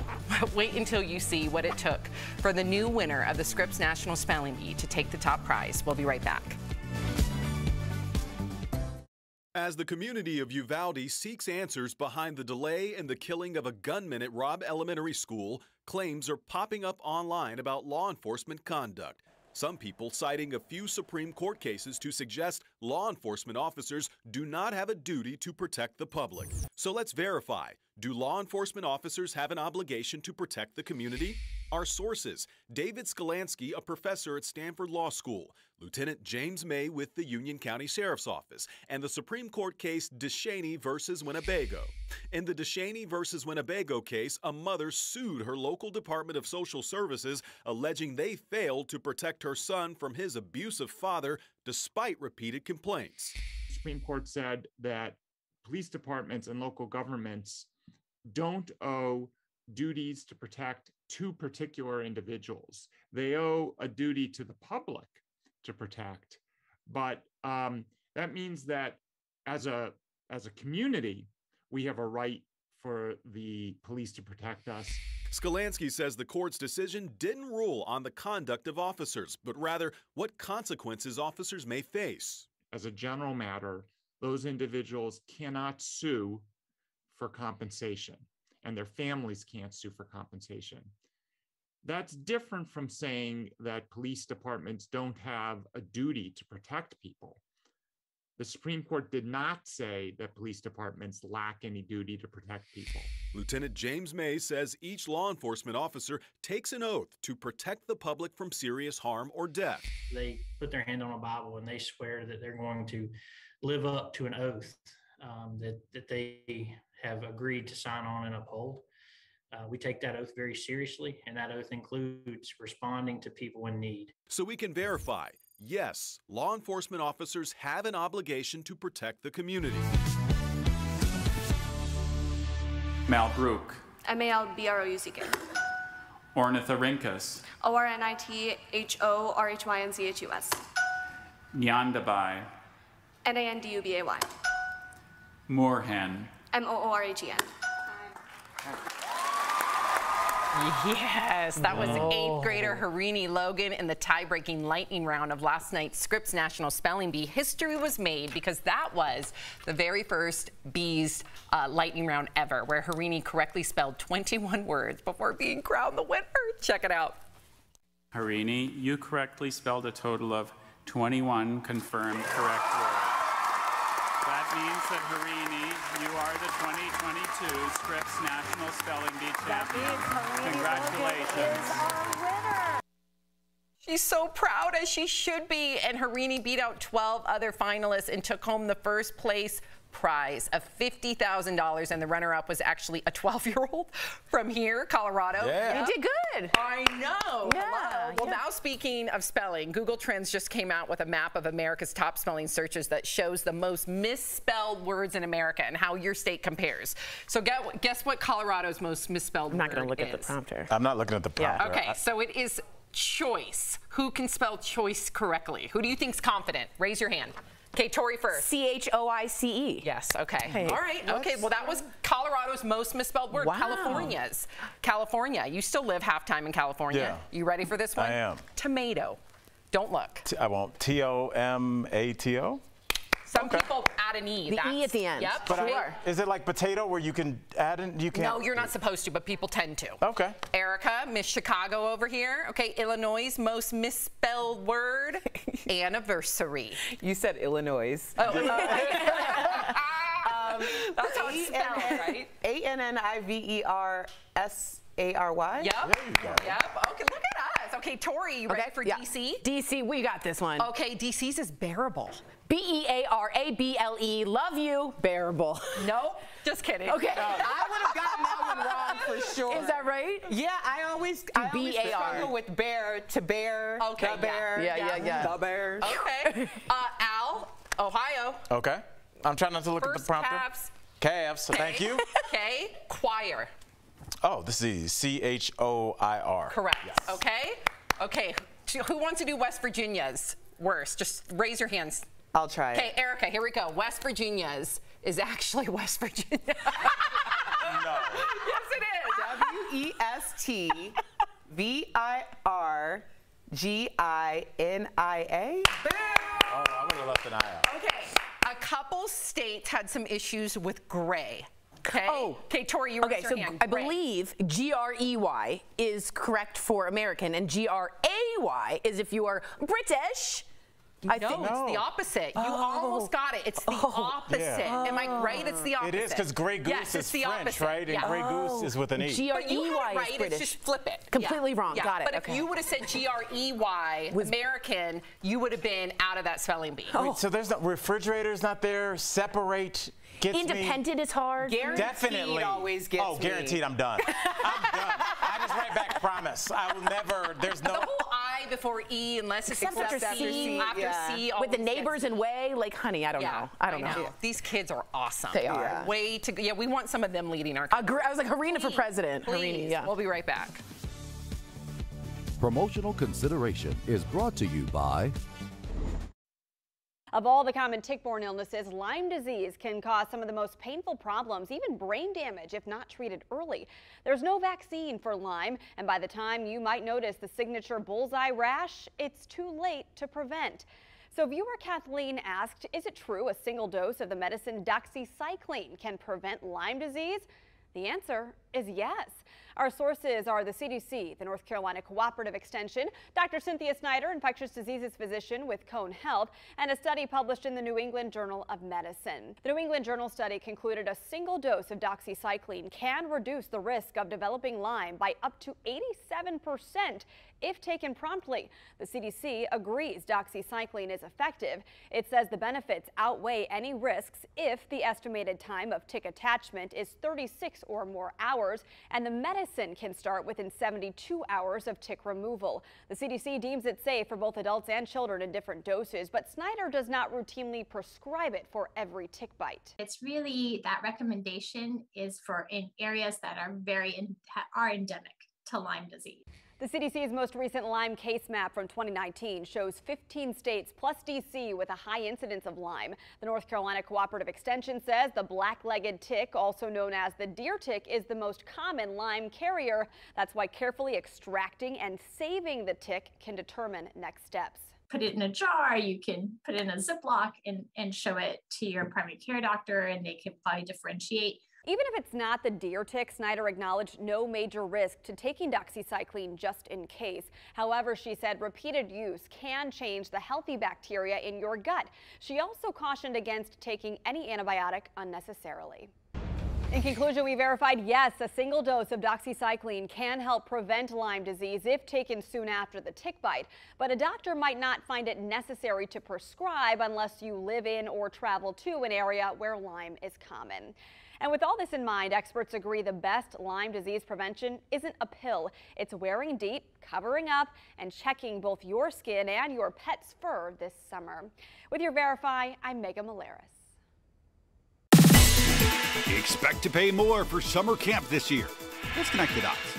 According to the American Camp Association, the average cost of day camp has more than doubled from $76 last year to $178 this year and sleepaway camp has tripled up to $449 a day.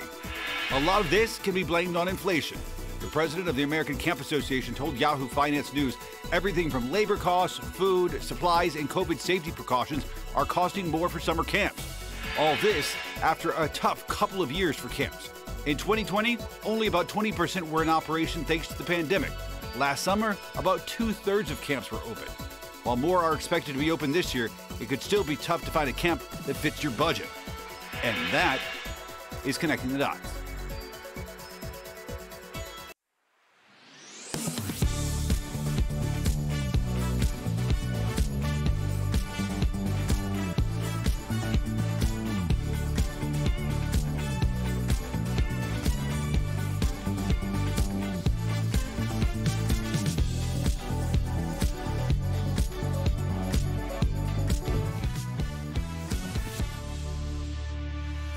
Welcome back. We love sharing your comments. Yes. Oh, good. Tori has. I sure do.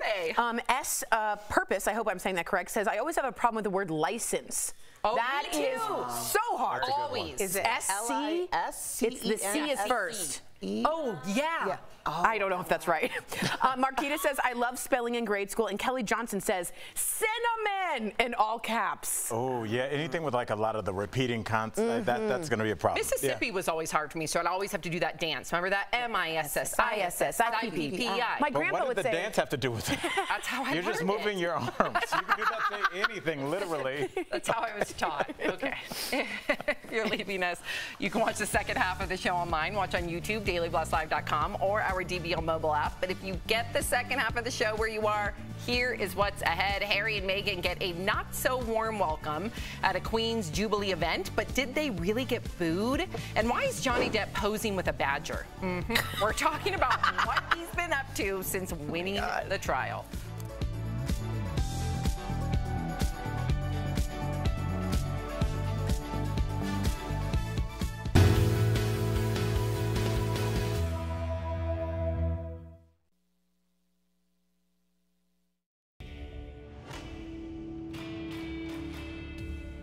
So does federal law really protect gun manufacturers from being sued?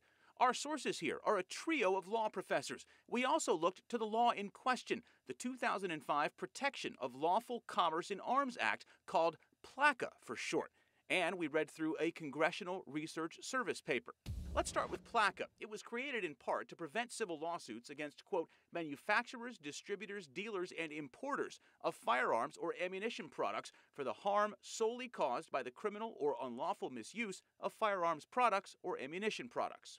So if you're shot by a person who criminally misuses a weapon, um, this law would block you from suing a firearms manufacturer. But there are exceptions. If you buy a firearm that is defective, if you knowingly transfer a firearm knowing that that firearm will be used to commit a crime of violence, You can sue when there's an allegation that the uh, manufacturer or dealer violated an underlying statute, either a federal or a state statute that is, quote, applicable to the sale or marketing of firearms. And we just saw this play out in 2015. The families of nine Sandy Hook victims sued gunmaker Remington for the way they marketed the weapon used in that mass shooting. The allegation by the families was that Bushmaster was marketing uh, this gun to be used for offensive, violent conduct. In February, Remington settled for $73 million.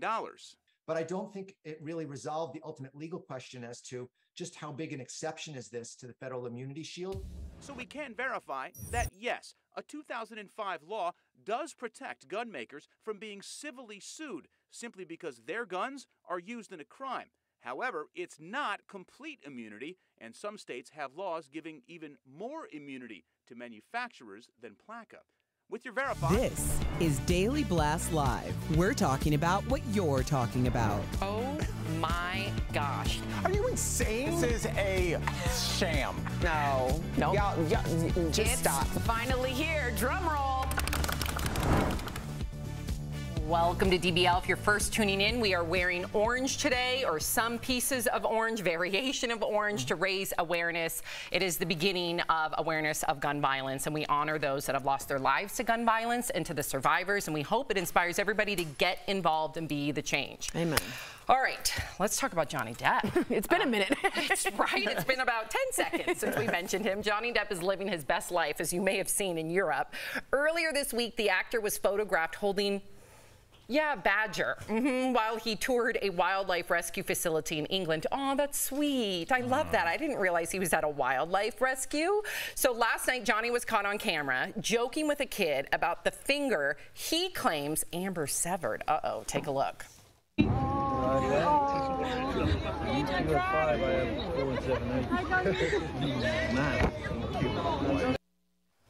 It's math. It's been four years since Johnny starred in a major movie, but it looks like his acting comeback is in the works. When you Google Beetlejuice 2, Johnny's name appears in the cast list alongside, of course, Michael Keaton and Winona Ryder. Also, a former Disney studio executive is speaking out, saying Johnny could someday return as Jack Sparrow, saying there is a huge appetite for bringing back bankable Hollywood stars in massively popular franchises. What do you think about? Like, but what do you think about his comeback, and do you think Amber will have a comeback? I think she will not have a comeback. I think no one will hire her. I, I, someone wrote me the other day said the Me Too movement isn't just about women. It's also about men. And in my mind, Johnny was defamed. Now, he did some really terrible text message, said some really bad things. But from my point of view, he was maligned. But she was awarded for being defamed too. During the trial from his lawyer, not from him. So for me, I have zero issues seeing him as Captain Jack Sparrow. It goes immediately back into the comeback again. He speaks like it almost all the time. He kind of is Jack Sparrow. And I, I, I truly think a comeback for him is I know this is going to make people mad, but is, is worth it. I think he was maligned and should get a comeback, much like Travolta. Erica's the comeback queen. What you Yeah, thinking, what do you girl? think? Yeah, well, I like to say everyone's deserving of the comeback they're willing to earn. Um, so I don't think it's necessarily true that we're never going to see or hear from Amber Heard again. Um, I think that this is actually a very interesting um, social. Not experiments. Temperature check almost, yeah. like a litmus test mm-hmm. of what it really means to have a judge and jury of not your peers, but of public perception. What does that trial look like? What does the return phase look like? These are all things that we have been asking from the beginning of Me Too, from the beginning of what is now being dubbed cancel culture. So I think we're all just experiencing it together. Yeah, you, you, know, just in terms of the box office, I think this could happen at a better time for Johnny. I mean, we saw the success of Top Gun. Right. And I think Erica, Tori, Sammy, we've all been in the house for two and a half years. Yeah. There's obviously, first half of the show, we got to talk about gun violence. I think people just want to see Top Gun. They want to see something they already know. They want to see the actors they are already Nostalgia. familiar with. Get out of Nostalgia, the house. Yes. Yeah, yeah, and, yeah. and what would be better for that than to reboot? We're trying to restart life and uh, post-COVID, reboot Pirates of the Caribbean, bring back all the old kind of comfort foods. So I think this is right on time for him. I agree. We'll have to wait and see. So the Queen's Platinum Jubilee is lit. Mm. Did I sound cool? Mm. No. Okay.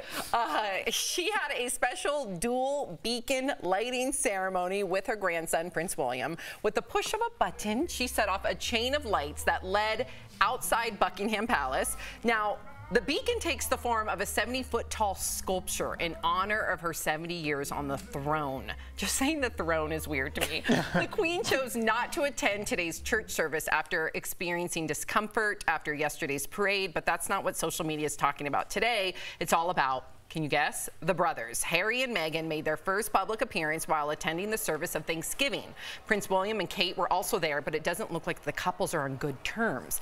Take a look where they sat during the service. They are on completely different sides of the aisle, literally. Apparently, British citizens have picked their sides as well. Take a look at what happened when Meghan and Harry were outside the church.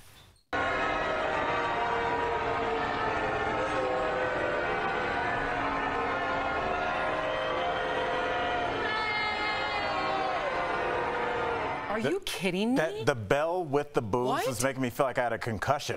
you know, it was just like a weird That noise. was like Princess Bride when the uh, older ladies like bell. Well, that's what- but that was such a great way to really describe what that was. I didn't know she was gonna. That part was so scary in that movie. it was spot on. It was spot on. It's the older generation. Um, really reacting. You have to consider who, what type of person or what type of citizen is going to really be there, And you know, show like up at that. actively, right? Yeah. So it's okay, Harry and Meghan. That just wasn't your demo, but you got plenty of demo over here. It's, a, it's an away game. You know, if you think about it, they live here now. what happens when the Chicago Bulls go to play the Cavs and the Bus pulls Bulls and, you know, there's got to be some Bulls. Yes, So it's like, yeah. It's what happened to LeBron when he came back, you know, after he was showing his talents to South Beach. Yes. Yeah. When he came back to Cleveland. Yes, and we also don't talk about those years in Miami. But yes, I, I, honestly, I understand what you, I look at this, and more than anything, I would just like, I would go to that and just like being the prince, I would walk up to everybody in the hat and be like, you look crazy. but then like no one would hear me, so that would be the way, because it looks extremely boring. It- I don't, would you, you- like this, Tori? This is not my jam. Well, I know, but that's not part of what you grew up with in England. From 1066 on, they've had a monarch sitting on that throne. That is a long-standing practice, and for them, he abdicated that, and that was a betrayal for them of maybe the older generation's uh, government. They feel so. I don't feel that way, but that's certainly a part of the population. And Harry, for sure, knew that that would happen. Now, the reason I think he made himself come all the way back for the Queen's Jubilee is he and his grandma are super close. She gets a kick out of him. He really loves her. And I like that they have that relationship, but I don't think he's coming back for a lot more. I think that's beautiful, but I think it's so weird that people come in horse-drawn carriages with crown. These are adults. This isn't Yeah. Sophie. My daughter pretends to do this. She's four.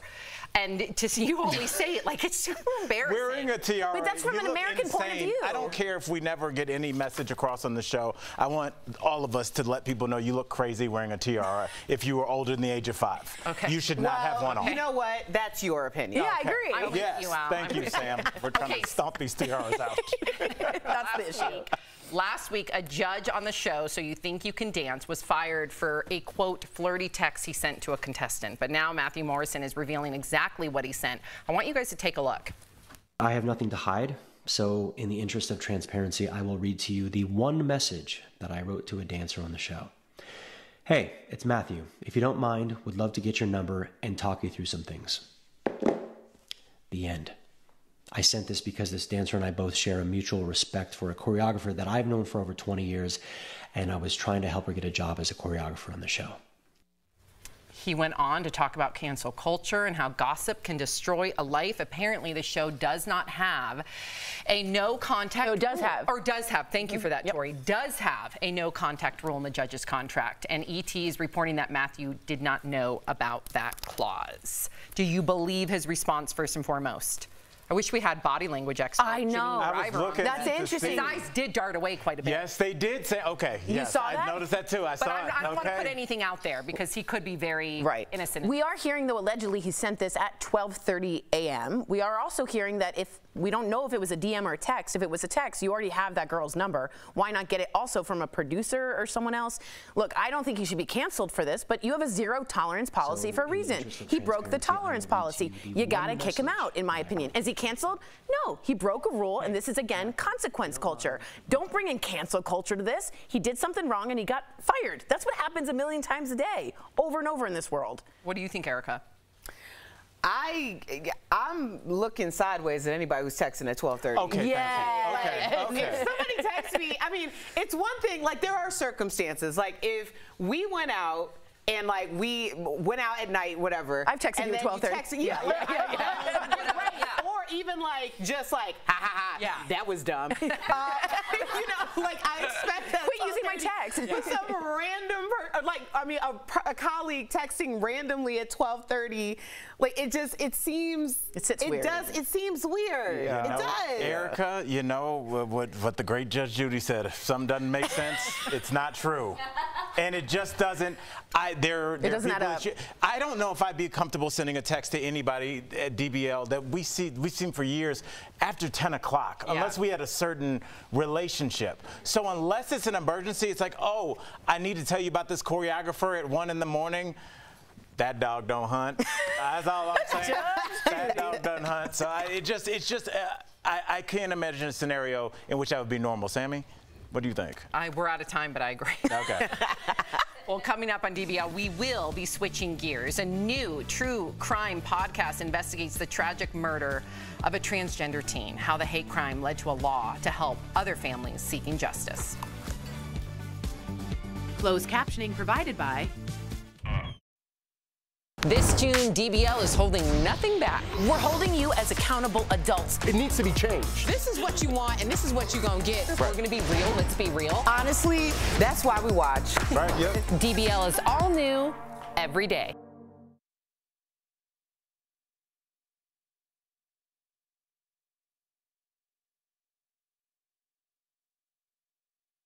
Okay, so we're talking about all the theories. We didn't talk about the idea that the show could have taped late and it could have been like an hour after they got off set. Still weird, though. It's still a little weird, but I also think so. There's this thing that people do where you lay something out very ambiguously to see if someone bites.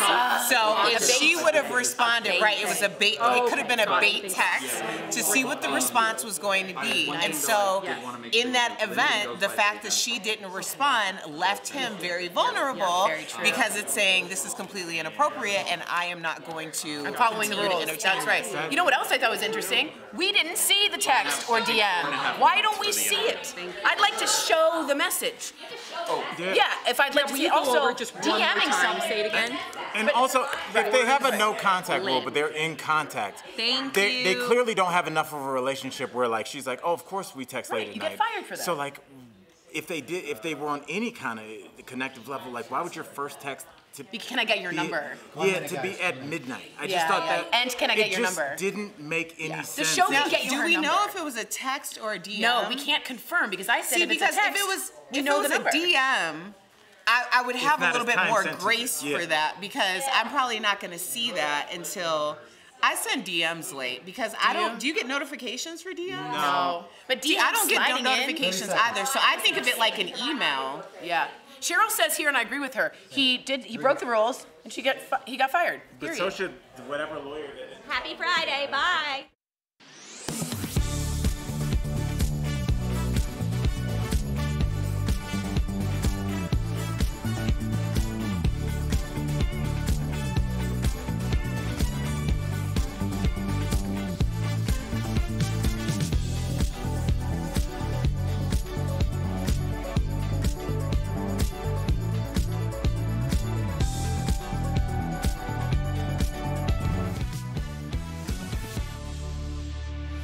Welcome back. Nikki Kuhnhausen was just 17 years old when a 25 year old construction worker murdered her after he found out that she was transgender. Take a look. Nikki had gone out for a walk in Vancouver late in the night on June 5th. She met a 25 year old construction worker named David Bogdanov. They exchanged Snapchat accounts, then parted ways. But hours later, the two communicated on Snapchat and arranged to meet back up. Investigators say during a sexual encounter, David discovered Nikki was transgender. He strangled her to death with a cell phone charging cord, then drove to Larch Mountain in East Clark County and dumped Nikki's body off a Forest Service road. For months, Nikki's friends and loved ones had no idea what had happened to her. Knowing that a trans teenager and a, a trans female teenager was missing, um, those stories don't usually end very well. Then, in December of 2019, six months after Nikki disappeared, human remains were discovered on Larch Mountain. During the investigation, search warrants revealed David's phone pinged in the same area Nikki's remains were found the morning she went missing. We attempted contact with him yesterday, and he uh, declined to, to give any further statements. At that point, he was arrested for second degree murder. So understand that you're being arrested today for the murder of Nikki Kuhnhausen. David Bogdanov was sentenced to 20 years in prison for murdering Nikki, whose case is now the subject of a new true crime podcast called Should Be Alive. He's joining us to talk about. We'd like to come and welcome them to uh, Should Be Alive host and reporter Ashley Korslien from KGW, our affiliate in Portland, Oregon, and Lyndon Walls, a transgender activist and family friend of the Kuhnhausen. Thank you guys for being here. I appreciate yeah. it. Now, thanks for having us here. Thank you. Truly, thank you for being here. Lyndon, when did Nikki know they were trans? Yeah, Nikki knew she was trans from pretty early on. Yeah, even in preschool, she would often put on wigs and like to dress up as a girl and, and have other people do her makeup. So Nikki knew very early on that she was different. It may not have, she may not have been able to articulate that she was transgender, but she knew very early on that she was different and that she wanted to, to present as a girl in the world. Um, she did that within the family until about middle school, and in middle school uh, decided that it was time that she wanted to, the world to know Nikki as, as we knew her uh, starting in middle school. Yeah. Ashley, has Nikki's trans identity changed how people have responded to the case? Yeah, I think um, early on um, when we covered this case, we got a lot of really hurtful and hateful comments from people who essentially blamed Nikki, um, really sadly, saying, well, she should have disclosed that she was transgender and this wouldn't have happened. And I think there are a couple points to really dive into here. Number one, Nikki was a child. She was 17 years old who met a man who was eight years older than her. Um, he gave her alcohol. And I don't think we know that Nikki ever would have felt comfortable um, disclosing the fact that she was transgender to him um, or that she should have had to in that, um, that encounter that they had. Um, but the, at the end of the day, nobody deserves to die or be strangled or murdered because of that. And I think that's um, really at the crux of this. And I think um, Nikki's gender identity played a role in this in the sense that people who are transgender, LGBTQ plus people really saw this case and saw this murder and it really heightened the fear that people already have right. about acts of violence that are increasing and murders that are increasing against transgender Americans. And so this case really rattled those people who were already scared. And specifically, um, trans women and black trans women are most often the victims of these types of crimes. And so that's really what we wanted to highlight through this series. And thank God that you guys are, because hopefully through your knowledge, you know, it can break down a lot of the ignorance and the prejudice out there and discrimination that's the goal i mean this is a human being it's it's yeah. it's angry and it's it's heartbreaking um, lyndon how right. did nikki's family cope with her disappearance i can't imagine as a parent not knowing what happened to her for six months yeah, Lisa, Lisa really took it hard. You know, Lisa, Nikki's mom, spoke daily Um, they text, they Facebook message, they talked on the phone. Um, there wasn't a day that went by that, that they didn't talk. And Lisa often talks about the fact that she, Nikki was never the one to hang up on, uh, on their phone calls. Um, Mm. She always made Lisa hang up because she, she just wanted to stay there and have that extra time with her mom. So Lisa took it really hard. The rest of the family took it really hard because it was six months where they didn't know where their family member was. And, and early on, Lisa had been told that something had happened. And so, you know, there was a suspicion that, that it may not have come, you know, it didn't have a, a good outcome.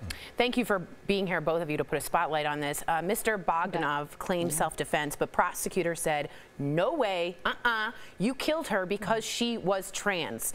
Ashley, talk to us in the audience about the panic defense and how effective of a legal strategy has it been for defendants accused of murder? Yeah, so the panic defense is not an affirmative defense per se. It's usually paired with um, a defense of insanity or a self-defense claim, but it is a legal strategy, and so it's, it's it can be used really overtly or very subtly and in a nuanced fashion. Um, it, it it is quite rare that it is used um, throughout the history of the country, um, dating back to the 1960s. We kind of dug into the research by talking to an expert um, on this, and what we found is even though it's rare, um, it can be used quite effectively. And what it is essentially is when a defendant, um, let's say in a murder trial, will say, um, essentially they will say, I was so shocked or so disturbed that I found out um, this person I had some sort of encounter with was either gay or transgender that I freaked out. I flew into a rage and yes, and therefore should not be held either responsible or accountable for what I did. And that can include either a violent assault or murder. And there are cases of uh, what's considered overkill where a victim will be stabbed 50 times. And so it's extremely heinous. Um, these really disturbing uh, crimes. And the expert we interviewed in our podcast who studies the panic defense um, going back to the 1960s has found that um, when it when it does work and when it is used, it can be um, it can either lessen the sentence that a defendant will face, Wow. and about eight percent of the time, it has led to an acquittal. Um, this is over the past 40 years. That's a hate crime. Oh my Beyond. gosh. Yeah. Yes. Uh, I thank you both for talking with us. If you'd like to our viewers to learn more about the life and death of Nikki Kuhnhausen, stream new episodes of Should Be mm-hmm. Alive available online. Thank you both. Thank we'll you, be right back. Thank you. Thank you. Suffer from.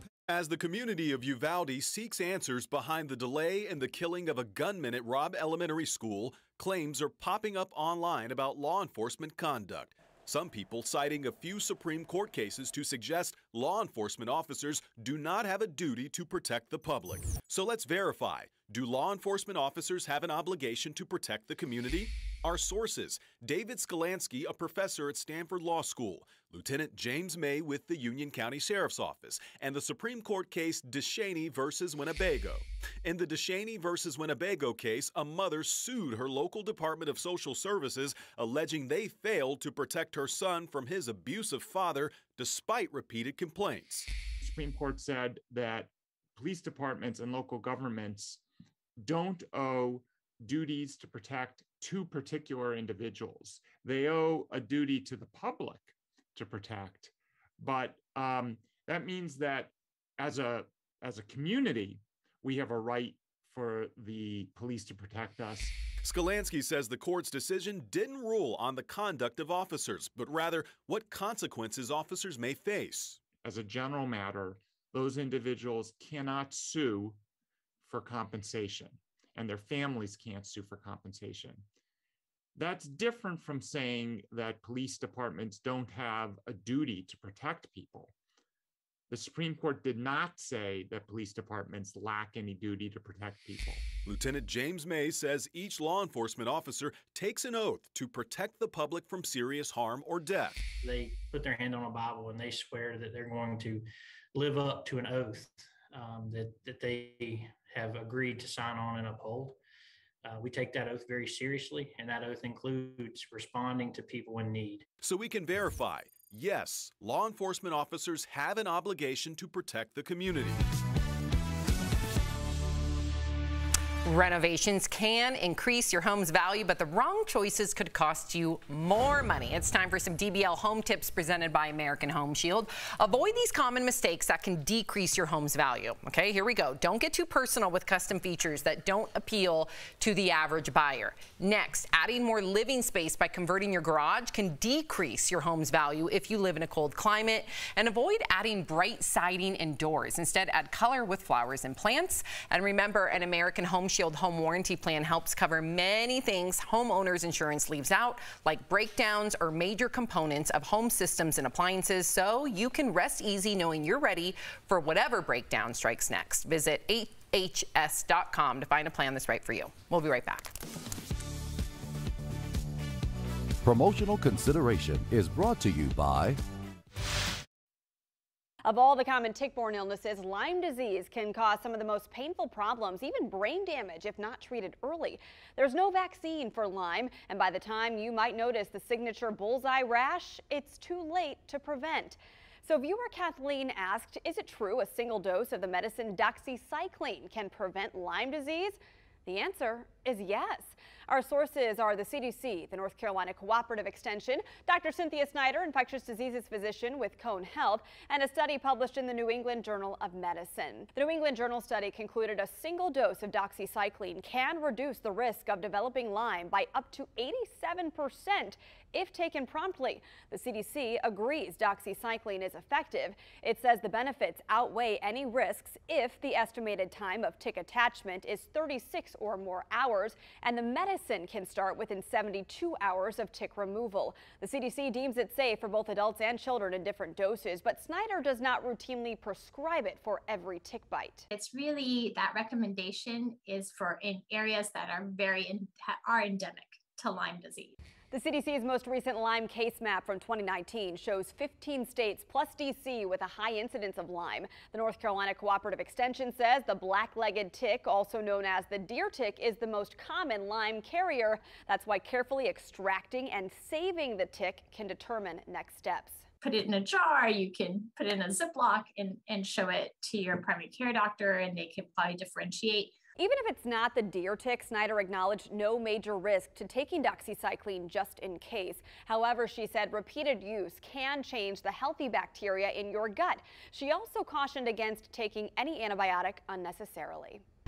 In conclusion, we verified yes, a single dose of doxycycline can help prevent Lyme disease if taken soon after the tick bite, but a doctor might not find it necessary to prescribe unless you live in or travel to an area where Lyme is common. And with all this in mind, experts agree the best Lyme disease prevention isn't a pill. It's wearing DEET, covering up, and checking both your skin and your pet's fur this summer. With your Verify, I'm Megan Malaris. Expect to pay more for summer camp this year. Let's connect the dots. According to the American Camp Association, the average cost of day camp has more than doubled from $76 last year to $178 this year and sleepaway camp has tripled up to $449 a day. A lot of this can be blamed on inflation. The president of the American Camp Association told Yahoo Finance News everything from labor costs, food, supplies, and COVID safety precautions are costing more for summer camps. All this after a tough couple of years for camps. In 2020, only about 20% were in operation thanks to the pandemic. Last summer, about two thirds of camps were open. While more are expected to be open this year, it could still be tough to find a camp that fits your budget. And that is connecting the dots.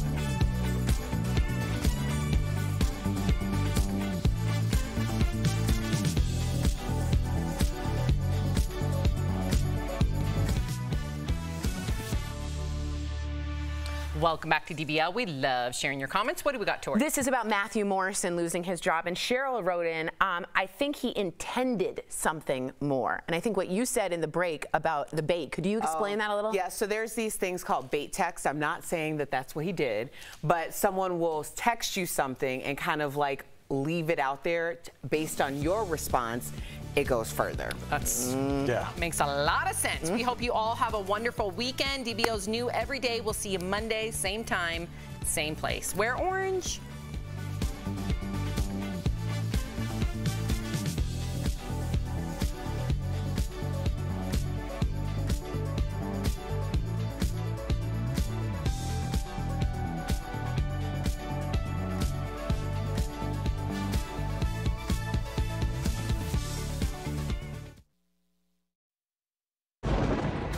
Where hope finds help. Where courage meets conviction. Where makers make fans.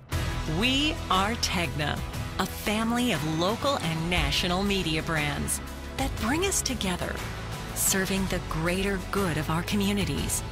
Where national know how backs local business. Be in good company with Tegna.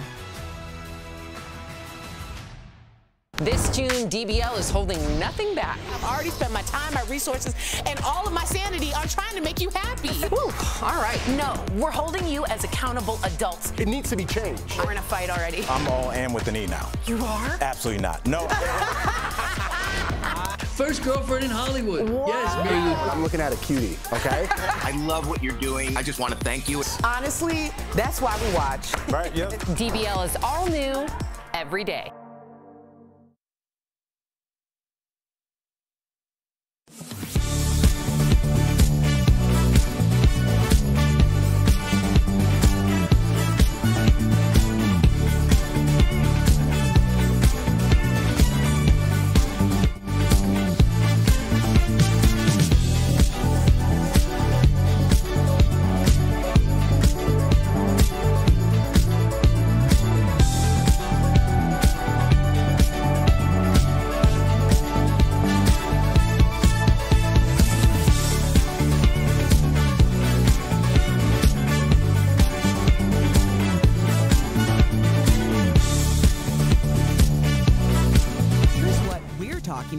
Today on Daily Blast Live. More lives lost in two more mass shootings as President Biden calls for gun control. How many more innocent American lives must be taken before we say enough? Plus, a new poll reveals the majority of Americans think teachers should be armed. Do you agree? A new true crime podcast investigates the tragic murder of a transgender teen, how the hate crime created a law for other families seeking justice. William and Harry sit on opposite sides at the Queen's Jubilee. Is there a royal rift between the brothers? Plus, why did the Queen have to miss part of her own party? And can you spell victory? A champion is crowned in a first ever lightning round tiebreaker at the Scripps National Spelling Bee.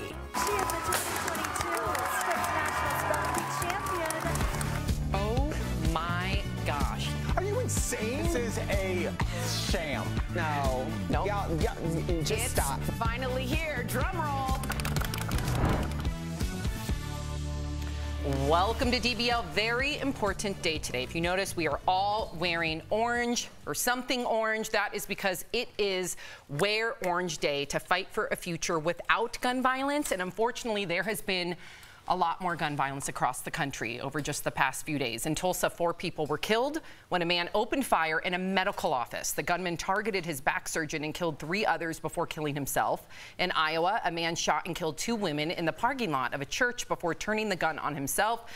And unfortunately, those are just a couple of examples. There's many more, many, many, many, many more. Well, last night, the president called for a ban on assault weapons and high capacity magazines. He also called for Congress to act on the mental health crisis. Now, some states are already taking action. In New York, they voted yesterday to ban anyone under the age of 21 from buying or even possessing semi automatic rifles. However, in Florida, the governor vetoed a planned a planned practice facility for the Tampa Bay Rays after the team spoke out calling for donations for a gun control group. Tori, what do you think about all the recent news, the action or inaction? Yeah, sometimes I feel like Biden is doing his best, but he's sort of speaking into the wind. I know there's a bipartisan group of people that got together and tried through Zoom to make something happen. They do say they might be doing some universal background checks. But then one senator brought up guns and showed his own guns. Another representative said, I use AR 15s to shoot my raccoons so they don't go to my chickens. So I really don't know how much progress we're making. I'm proud that we're wearing orange. Do I wish sometimes that our country just had a fully different group of politicians that saw it a completely different way? Yeah, I do. And I hope that the Parkland aged kids somehow run for pre uh, president and, and, and for politics so that we get them in our in our government. This at this point, we're acting crazy. We do the same thing over and over again and expect a different result. That's insane. Insanity, insanity, excuse me. Yeah, I think I, I agree with what you're saying, but unfortunately, especially when there's so much money to be made um, for every um, Parkland survivor who is stepping up, there's going to be someone who has a legacy plan to keep money in their families. Um, this is about money. And until we find another way to combat people getting rich off of sticking together, because we know one thing that money can do is bond people. Like we all up, rise up together, but we don't necessarily all fall together, which goes back to my point yesterday. If we start segmenting out these groups between the manufacturers, between the lobbyists, between the politicians, between the NRA, if you go after one, they're going to have to make a decision. If one person starts bleeding financially, they're going to have to make a decision if they're all still in this together. Well, they're going to have to watch out because I can't tell you how inspired I am going to my first Moms Demand Action meeting, which is in part with Everytown. So it's the same organization. And let me tell you, that room was crowded with people energized, hopeful, and ready to get stuff done. And apparently, this last month has been the largest number of new volunteers than ever. And there is hope out there. There is change already happening. We've had some recent bills passed here in Colorado. So things that can curb gun violence right away, yes, increasing that age limit, right, from 18 to 21. Waiting periods, red flag laws, which we have here in Colorado, but unfortunately some of our neighboring states don't. So there are things we can do right now that can curb those gun violence deaths. Will they eliminate them completely? No, but we are making steps. And I don't want anybody out, out there to feel hopeless and helpless. Because let me tell you, there are millions of people fighting back the NRA, and there is millions of donations going into Everytown right now.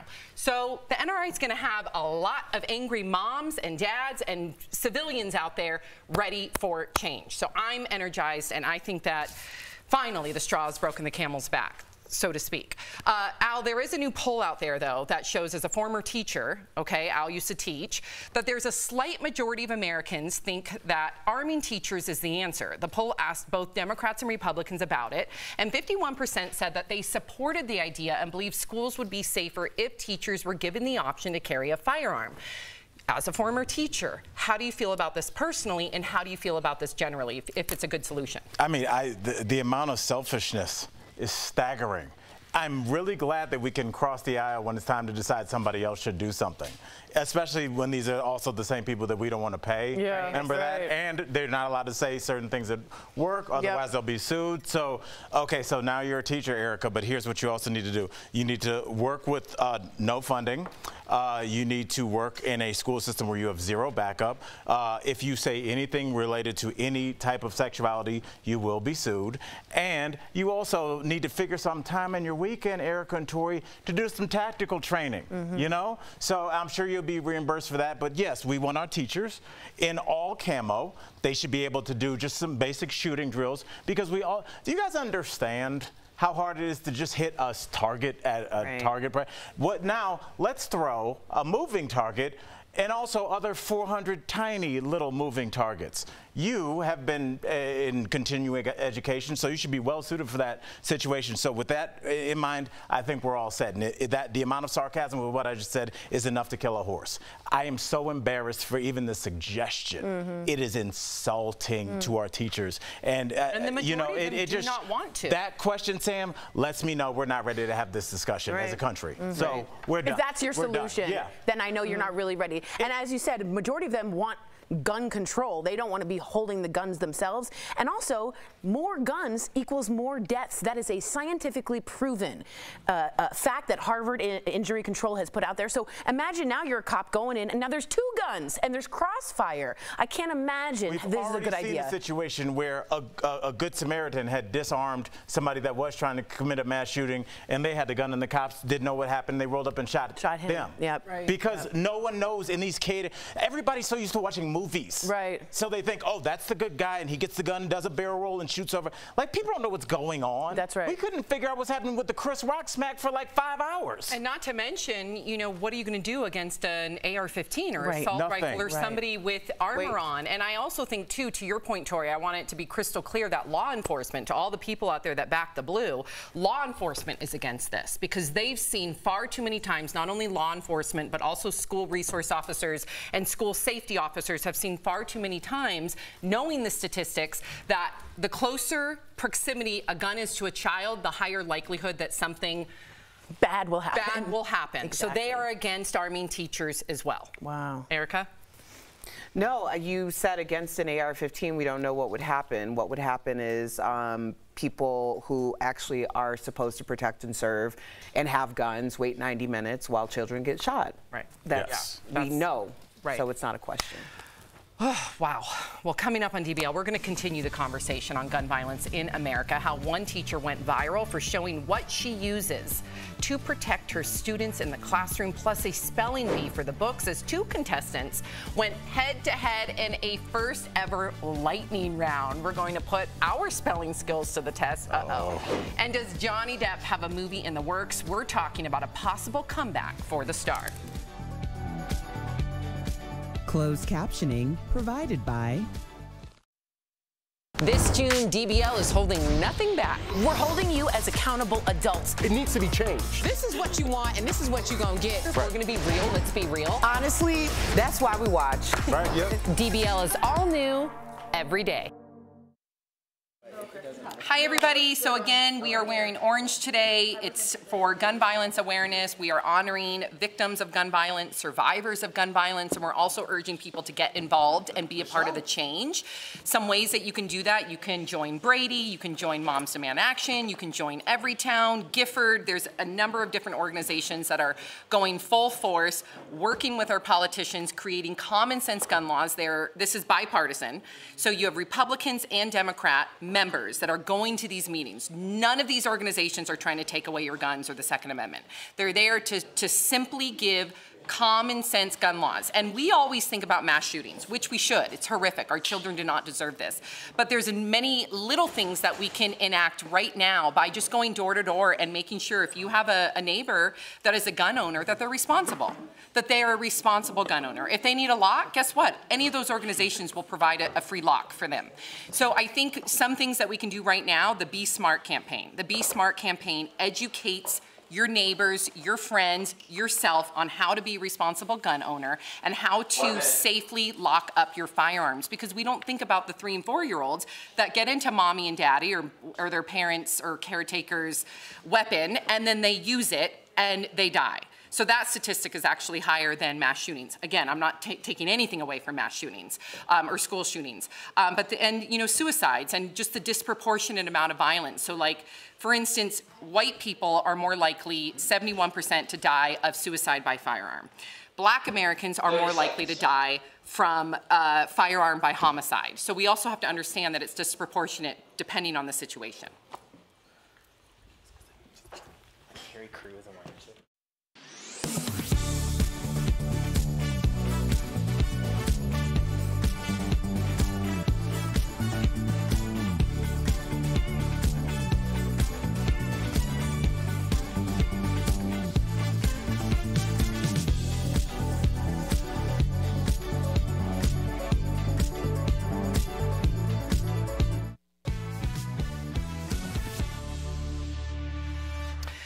Welcome back. So, what is it like to live in America in 2022? Well, active shooter training drills have now become a regular thing. We've had them here. The March for Our Lives group released this video a while back, but because nothing's changed, it's gone viral yet again. And it shows active shooter training led by someone very interesting. Take a look. Um, we're gonna bring in a special guest. She's actually an expert on this. This is Kaylee. If the shooter comes in the room, screaming won't do anything. You have to try and fight back. Try to listen for things that could help the police. For example, if you hear a lot of bangs like bang, bang, bang, bang, bang, bang, the shooter might be down the hall. Or if you hear louder ones like bang, bang, bang, he could be right outside your door. I mean, this is what the reality is in our country, really? Yeah. Everyone's eyes are watering right now. Erica, what are you thinking? I my eyes aren't watering, not because I don't feel like this is the saddest thing. Um, but I told you, I just had this conversation with my mom like five weeks ago, and I got off the phone thinking, that is the craziest conversation I've ever had with my mother. Mm. She was locked down in a school. An it educator. Was an educator, yes. She's. It was code black. Um, we were on the air. I was trying to figure out like, and there were all these things where I was like, I put my phone on on on focus or whatever. She was the only person who could call or text me. She ended up uh, calling me during the show. Um, I told her to like put her battery. I was telling her all of these things that I've learned, right? Mm-hmm. The number one thing I said to her was unless she's going to get training on an active shooter situation in school, then she can't be in the school because she's a hindrance to other people's survival. She literally said that when everything, when it went black, all the kids stood up. They knew. were quiet. They knew. One kid went over and turned off the lights. They all, uh, she said it was like a parting of the sea. They all started moving their desks to where they were supposed to go. And then one of the kids, and these are kids, brought her over to tell her to sit like to huddle down where he was and she was in between two little boys and the one little boy said to the other that i have a pen if he comes in i'll stab him with the pen and the other little boy grabbed a broom and said i'll trip him with the broom like that's I what's know. happening I want it because you brought up your your mom being a teacher. I want to talk about this teacher, and then Tori and Al, please respond. This is a first grade teacher who went viral on TikTok. She's showing off all the stuff she purchased. To To keep her class safe, which she keeps in a cubby by the door. the kit includes a metal bat, a bar to block the door. She also has a bulletproof backpack with a bulletproof vest as well as Barracuda. And it's super tourniquets. easy to use. Yeah. This So is it goes th- over what the the- Sam. What are you surprised about? We have military. I'm surprised, sti- I'm upset. You know, you should be. I'm glad you are. It shows that you still have your humanity inside of you. But we started handing out military-grade weapons to random people on the street. So yeah, our teachers have to have military-grade ways to defend against that and repair themselves like a soldier would on the battlefield. Only in this case, it's a room filled with children's drawings and backpacks and little shoes at the door. This is your your letter grade for your life, for being an adult, is the generation of kids right behind you, and the kids that we're leaving that are well versed in, in, in, in tactical maneuvers in their seventh grade class, they are our letter grade as, as adults. And it's a huge F. I am ashamed of our generation of adults. We've left our kids with nothing. We've saddled them with debt. We've, uh, we, we, we've terrified them with, with, with school violence. Climate change. Climate change. It, we've COVID. done nothing. We've done nothing. We, we, we couldn't even agree on masks uh, on behalf of everybody, I'm 44. We failed you. I wouldn't listen to one adult that, that hadn't been vetted if you're a young person. Any adult, any politician, I, I, would, I would look two or three times at. We are all tainted. There is something wrong with our generation. I am embarrassed. And we all should be. And the fact that we like try and discipline them and complain about their behavior on TikTok, I wish we had a 14 year old as a president. So I. I wish we had 12 year olds in, in Congress. They are way more articulate than we are, much more emotionally intelligent than, than a, a lot of my me and my cohorts. I, Look we how are, fast they all came together after Parkland. Exactly. David Exactly. Hogg, I was just thinking Look that. At that. They Mobilized. organized Within immediately. Seconds, some of them still had blood on their shirts when they were meeting with, with local legislators. we would have been we the would have been arguing on AOL.com. Mm-hmm. So that's what our generation Come- did. Thank you for. Thank It's you for just that. big facts. We can I just know. see it. Coming up on DBL, we're going to switch gears and talk about what kids should be worrying about in school. Spelling. Wait until you see what it took for the new winner of the Scripps National Spelling Bee to take the top prize. We'll be right back. As the community of Uvalde seeks answers behind the delay in the killing of a gunman at Robb Elementary School, claims are popping up online about law enforcement conduct. Some people citing a few Supreme Court cases to suggest law enforcement officers do not have a duty to protect the public. So let's verify. Do law enforcement officers have an obligation to protect the community? Our sources David Sklansky, a professor at Stanford Law School, Lieutenant James May with the Union County Sheriff's Office, and the Supreme Court case DeShaney versus Winnebago. In the DeShaney versus Winnebago case, a mother sued her local Department of Social Services, alleging they failed to protect her son from his abusive father despite repeated complaints. The Supreme Court said that police departments and local governments don't owe duties to protect two particular individuals. They owe a duty to the public to protect, but um, that means that as a as a community, we have a right for the police to protect us. Sklansky says the court's decision didn't rule on the conduct of officers, but rather what consequences officers may face. As a general matter, those individuals cannot sue for compensation, and their families can't sue for compensation. That's different from saying that police departments don't have a duty to protect people. The Supreme Court did not say that police departments lack any duty to protect people. Lieutenant James May says each law enforcement officer takes an oath to protect the public from serious harm or death. They put their hand on a Bible and they swear that they're going to live up to an oath um, that, that they have agreed to sign on and uphold. Uh, we take that oath very seriously, and that oath includes responding to people in need. So we can verify yes, law enforcement officers have an obligation to protect the community. Malbrouck, M A L B R O U C K. Ornithorhynchus, O R N I T H O R H Y N C H U S. Nandubay, N A N D U B A Y. Moorhen, M O O R H E N. Yes, that was eighth grader Harini Logan in the tie-breaking lightning round of last night's Scripps National Spelling Bee. History was made because that was the very first Bees uh, lightning round ever, where Harini correctly spelled 21 words before being crowned the winner. Check it out. Harini, you correctly spelled a total of 21 confirmed correct words. That means that Harini, you are the 2022 Scripps National Spelling Bee champion. Congratulations. She's so proud, as she should be. And Harini beat out 12 other finalists and took home the first place prize of $50,000. And the runner up was actually a 12 year old from here, Colorado. Yeah. You did good. I know. Yeah, Hello. Well, yeah. now speaking of spelling, Google Trends just came out with a map of America's top spelling searches that shows the most misspelled words in America and how your state compares. So get, guess what Colorado's most misspelled I'm not word going to look at the prompter. I'm not looking at the prompter. Okay, I- so it is choice. Who can spell choice correctly? Who do you think's confident? Raise your hand. Okay, Tori first. C H O I C E. Yes, okay. Hey, All right, okay. Well, that was Colorado's most misspelled word. Wow. California's.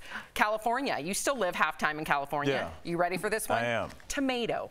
Don't look. T- I won't. T O M A T O.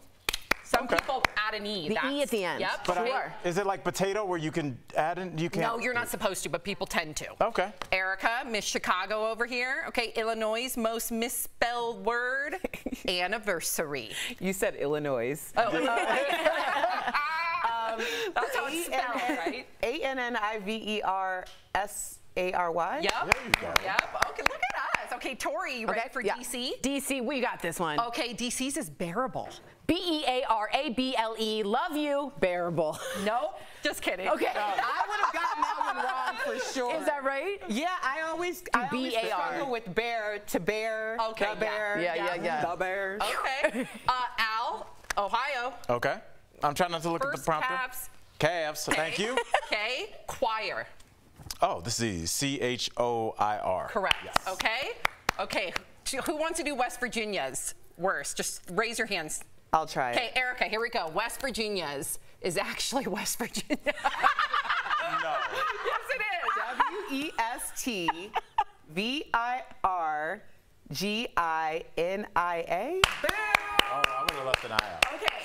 A couple states had some issues with gray. Okay. Oh. Okay, Tori, you were. Okay, so hand. I Gray. believe G R E Y is correct for American, and G R A Y is if you are British. I no, think. it's the opposite. You almost got it. It's the oh. opposite. Yeah. Am I right? It's the opposite. It is because Grey Goose yes, is it's the French, opposite. right? And Yeah. Grey Goose oh. is with an E. G R But you E had Y it is right. It's just flip it. Completely Yeah. wrong. Yeah. Got it. But Okay. if you would have said G R E Y American, you would have been out of that spelling bee. Oh. Wait, so there's no refrigerators not there. Separate. Gets Independent is hard. Me. Definitely. always gets Oh, me. guaranteed. I'm done. I'm done. I just write back. Promise. I will never. There's no. The whole I before E, unless it's Except after except C, after yeah. C, with the neighbors gets and way, like, honey, I don't Yeah, know. I don't know. know. These kids are awesome. They are. Yeah. Way to yeah. We want some of them leading our. Agre- I was like, Harina for president. Please. Harini, yeah. We'll be right back. Promotional consideration is brought to you by Of all the common tick-borne illnesses, Lyme disease can cause some of the most painful problems, even brain damage, if not treated early. There's no vaccine for Lyme, and by the time you might notice the signature bullseye rash, it's too late to prevent. So viewer Kathleen asked, is it true a single dose of the medicine doxycycline can prevent Lyme disease? The answer is yes. Our sources are the CDC, the North Carolina Cooperative Extension, Dr. Cynthia Snyder, infectious diseases physician with Cone Health, and a study published in the New England Journal of Medicine. The New England Journal study concluded a single dose of doxycycline can reduce the risk of developing Lyme by up to 87% if taken promptly. The CDC agrees doxycycline is effective. It says the benefits outweigh any risks if the estimated time of tick attachment is 36 or more hours, and the medicine can start within 72 hours of tick removal. The CDC deems it safe for both adults and children in different doses, but Snyder does not routinely prescribe it for every tick bite. It's really that recommendation is for in areas that are very in, are endemic to Lyme disease. The CDC's most recent Lyme case map from 2019 shows 15 states plus DC with a high incidence of Lyme. The North Carolina Cooperative Extension says the black-legged tick, also known as the deer tick, is the most common Lyme carrier. That's why carefully extracting and saving the tick can determine next steps. Put it in a jar, you can put it in a Ziploc and, and show it to your primary care doctor, and they can probably differentiate Even if it's not the deer tick, Snyder acknowledged no major risk to taking doxycycline just in case. However, she said repeated use can change the healthy bacteria in your gut. She also cautioned against taking any antibiotic unnecessarily. In conclusion, we verified yes, a single dose of doxycycline can help prevent Lyme disease if taken soon after the tick bite. But a doctor might not find it necessary to prescribe unless you live in or travel to an area where Lyme is common. And with all this in mind, experts agree the best Lyme disease prevention isn't a pill. It's wearing DEET, covering up, and checking both your skin and your pet's fur this summer. With your Verify, I'm Megan Malaris. Expect to pay more for summer camp this year. Let's connect the dots. According to the American Camp Association, the average cost of day camp has more than doubled from $76 last year to $178 this year. And sleepaway camp has tripled up to $449 a day. A lot of this can be blamed on inflation. The president of the American Camp Association told Yahoo Finance News everything from labor costs, food, supplies, and COVID safety precautions are costing more for summer camps. All this after a tough couple of years for camps. In 2020, only about 20% were in operation thanks to the pandemic. Last summer, about two thirds of camps were open.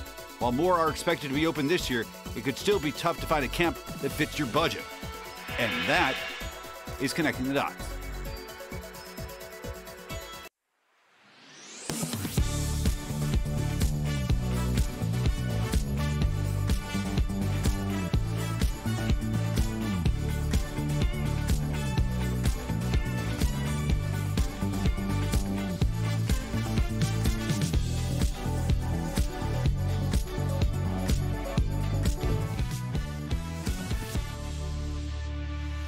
Welcome back. We love sharing your comments. Yes. Oh, good. Tori has. them. I sure Where do. Um, S uh, Purpose, I hope I'm saying that correct, says I always have a problem with the word license.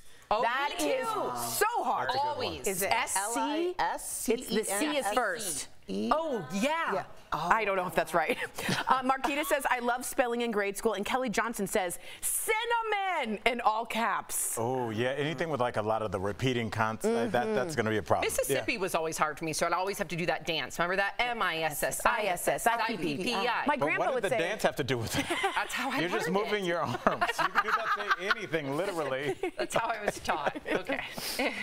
you're leaving us, you can watch the second half of the show online. Watch on YouTube, dailyblastlive.com, or our DBL mobile app. But if you get the second half of the show where you are, here is what's ahead. Harry and Meghan get a not so warm welcome at a Queen's Jubilee event. But did they really get booed? And why is Johnny Depp posing with a badger? Mhm. We're talking about what he's been up to since winning the trial.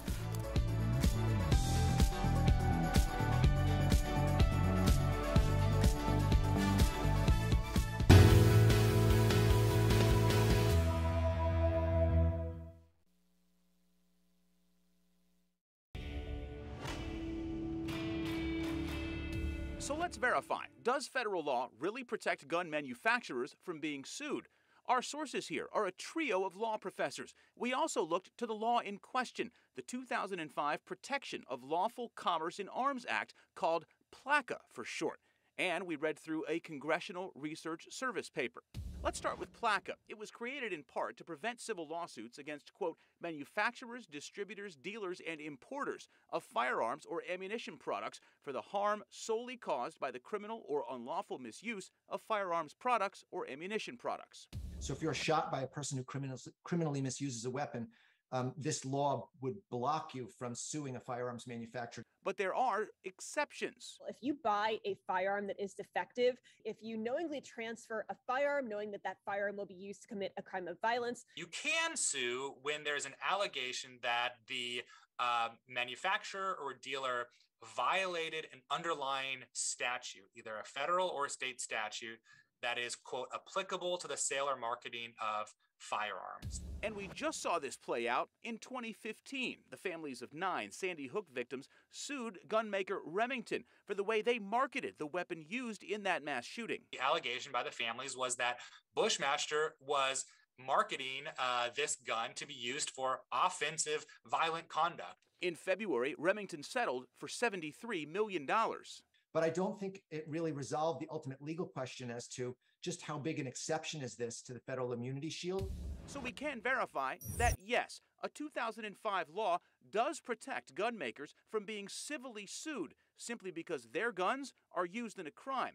However, it's not complete immunity, and some states have laws giving even more immunity to manufacturers than PLCAA. With your verify. This is Daily Blast Live. We're talking about what you're talking about. Oh my gosh. Are you insane? This is a sham. No. Nope. Y'all, y'all, just it's stop. finally here. Drum roll.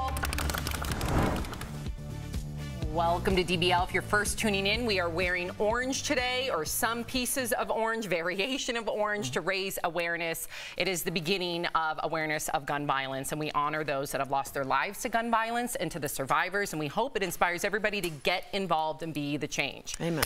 All right, let's talk about Johnny Depp. it's been a uh, minute. it's right. It's been about 10 seconds since we mentioned him. Johnny Depp is living his best life, as you may have seen in Europe. Earlier this week, the actor was photographed holding yeah, badger. hmm While he toured a wildlife rescue facility in England. Oh, that's sweet. I love that. I didn't realize he was at a wildlife rescue.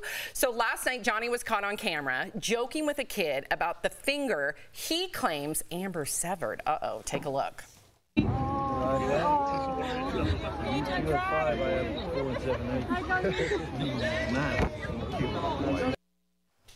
It's math. It's been four years since Johnny starred in a major movie, but it looks like his acting comeback is in the works. When you Google Beetlejuice 2, Johnny's name appears in the cast list alongside, of course, Michael Keaton and Winona Ryder. Also, a former Disney studio executive is speaking out, saying Johnny could someday return as Jack Sparrow, saying there is a huge appetite for bringing back bankable Hollywood stars in massively popular franchises. What do you think about? Like, but what do you think about his comeback, and do you think Amber will have a comeback? I think she will not have a comeback. I think no one will hire her. I, I, someone wrote me the other day said the Me Too movement isn't just about women. It's also about men. And in my mind, Johnny was defamed. Now, he did some really terrible text message, said some really bad things. But from my point of view, he was maligned. But she was awarded for being defamed too. During the trial from his lawyer, not from him. So for me, I have zero issues seeing him as Captain Jack Sparrow. It goes immediately back into the comeback again. He speaks like it almost all the time. He kind of is Jack Sparrow. And I, I, I truly think a comeback for him is I know this is going to make people mad, but is, is worth it. I think he was maligned and should get a comeback, much like Travolta. Erica's the comeback queen. What you Yeah, thinking, what do you girl? think? Yeah, well, I like to say everyone's deserving of the comeback they're willing to earn. Um, so I don't think it's necessarily true that we're never going to see or hear from Amber Heard again. Um, I think that this is actually a very interesting um, social. Not experiments. Temperature check almost, yeah. Mm-hmm. like a litmus test of what it really means to have a judge and jury of not your peers, but of public perception. What does that trial look like? What does the return phase look like? These are all things that we have been asking from the beginning of Me Too, from the beginning of what is now being dubbed cancel culture. So I think we're all just experiencing it together. Yeah, and I, you, know, just in terms of the box office, I think this could happen at a better time for Johnny. I mean, we saw the success of Top Gun. Right. And I think Erica, Tori, Sammy, we've all been in the house for two and a half years. Yeah. There's obviously, f- first half of the show, we got to talk about the gun violence. I think people just want to see Top Gun. They want to see something they already know. They want to see the actors they are already familiar Nostalgia. with. Get out of the house. Yes. Yeah, yeah, And, yeah. and what would be better for that than to reboot? We're trying to restart life and uh, post-COVID, reboot Pirates of the Caribbean, bring back all the old kind of comfort foods. So I think this is right on time for him. I agree. We'll have to wait and see. So the Queen's Platinum Jubilee is lit. Did I sound cool? No. Okay. Uh, she had a special dual beacon lighting ceremony with her grandson, Prince William. With the push of a button, she set off a chain of lights that led outside Buckingham Palace. Now, the beacon takes the form of a 70 foot tall sculpture in honor of her 70 years on the throne. Just saying the throne is weird to me. the Queen chose not to attend today's church service after experiencing discomfort after yesterday's parade, but that's not what social media is talking about today. It's all about can you guess? The brothers, Harry and Meghan, made their first public appearance while attending the service of Thanksgiving. Prince William and Kate were also there, but it doesn't look like the couples are on good terms. Take a look where they sat during the service. They are on completely different sides of the aisle, literally. Apparently, British citizens have picked their sides as well. Take a look at what happened when Meghan and Harry were outside the church.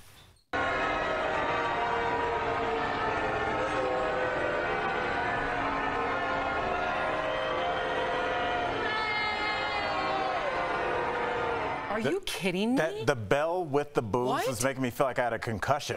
you know, it was just like a weird That noise. was like Princess Bride when the uh, older ladies like bell.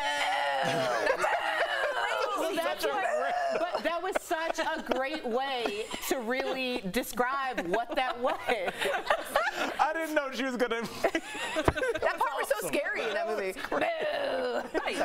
It was spot on. It was spot on. It's the older generation. Um, really reacting. You have to consider who, what type of person or what type of citizen is going to really be there, And you know, show like up at that. actively, right? Yeah. So it's okay, Harry and Meghan. That just wasn't your demo, but you got plenty of demo over here. It's, a- it's an away game. You know, if you think about it, they live here now. Totally.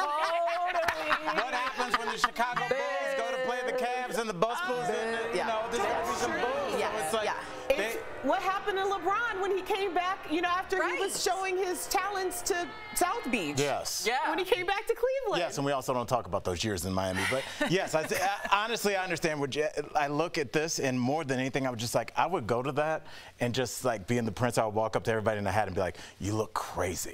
but then like no one would hear me, so that would be the way, because it looks extremely boring. It- I don't, would you, you- like this, Tori? This is not my jam. Well, I know, but that's not part of what you grew up with. In England, from 1066 on, they've had a monarch sitting on that throne. That is a long-standing practice, and for them, he abdicated that, and that was a betrayal for them of maybe the older generation's uh, government. They feel so. I don't feel that way, but that's certainly a part of the population. And Harry, for sure, knew that that would happen. Now, the reason I think he made himself come all the way back for the Queen's Jubilee is he and his grandma are super close. She gets a kick out of him. He really loves her. And I like that they have that relationship, but I don't think he's coming back for a lot more. I think that's beautiful, but I think it's so weird that people come in horse-drawn carriages with crown. These are adults. This isn't Yeah. Sophie. My daughter pretends to do this. She's four. And to see you always say it like it's super embarrassing. Wearing a tiara. But that's from you an look American point of insane. view. I don't care if we never get any message across on the show. I want all of us to let people know you look crazy wearing a tiara if you were older than the age of five. Okay. You should not have one on. You know what? That's your opinion. Yeah, I agree. I'm Yes, you, Al. thank I'm you, Sam. We're trying Okay. to stomp these tiaras out. That's the issue. Last week, a judge on the show, So You Think You Can Dance, was fired for a quote flirty text he sent to a contestant. But now Matthew Morrison is revealing exactly what he sent. I want you guys to take a look. I have nothing to hide, so in the interest of transparency, I will read to you the one message that I wrote to a dancer on the show. Hey, it's Matthew. If you don't mind, would love to get your number and talk you through some things. The end. I sent this because this dancer and I both share a mutual respect for a choreographer that I've known for over 20 years, and I was trying to help her get a job as a choreographer on the show. He went on to talk about cancel culture and how gossip can destroy a life. Apparently, the show does not have a no contact. No, it does have. Or does have. Thank you for that, mm-hmm. Tori. Does have a no contact rule in the judge's contract. And ET is reporting that Matthew did not know about that clause. Do you believe his response first and foremost? I wish we had body language experts. I know. I was River on looking. That's interesting. His eyes did dart away quite a bit. Yes, they did say, okay. You yes, saw I that? noticed that too. I But saw I'm- it. I don't want to put anything out there because he could be very innocent. We are hearing, though, allegedly he sent this at 12:30 a.m. We are also hearing that if we don't know if it was a DM or a text, if it was a text, you already have that girl's number. Why not get it also from a producer or someone else? Look, I don't think he should be canceled for this, but you have a zero tolerance policy for a reason. He broke the tolerance policy. You got to kick him out, in my opinion. Is he canceled? No, he broke a rule, and this is again consequence culture. Don't bring in cancel culture to this. He did something wrong and he got fired. That's what happens a million times a day, over and over in this world. What do you think, Erica? I I'm looking sideways at anybody who's texting at 12:30. Okay. Yeah. Okay, like, okay. If somebody texts me, I mean, it's one thing. Like there are circumstances. Like if we went out. And like we went out at night, whatever. I've texted and you at then 12:30. text- Yeah, Yeah, yeah, yeah, yeah. Or even like just like, ha ha ha. Yeah. That was dumb. uh, you know, like I expect that. Quit using my text. But some random, per- like I mean, a, a colleague texting randomly at 12:30, like it just it seems it sits it weird. does it seems weird. You It does. Erica, you know what, what what the great Judge Judy said. If something doesn't make sense, it's not true. And it just doesn't. I there. there are doesn't add up. that you- I don't know if I'd be comfortable sending a text to anybody at DBL that we see we've seen for years after 10 o'clock, unless we had a certain relationship. So unless it's an emergency, it's like, oh, I need to tell you about this choreographer at one in the morning. That dog don't hunt. That's all I'm saying. that dog doesn't hunt. So I, it just, it's just, uh, I, I can't imagine a scenario in which that would be normal. Sammy, what do you think? I, we're out of time, but I agree. Okay. Well, coming up on DBL, we will be switching gears. A new true crime podcast investigates the tragic murder of a transgender teen, how the hate crime led to a law to help other families seeking justice. Closed captioning provided by This June, DBL is holding nothing back. We're holding you as accountable adults. It needs to be changed. This is what you want, and this is what you're gonna get. If we're gonna be real, let's be real. Honestly, that's why we watch. Right, yep. DBL is all new every day.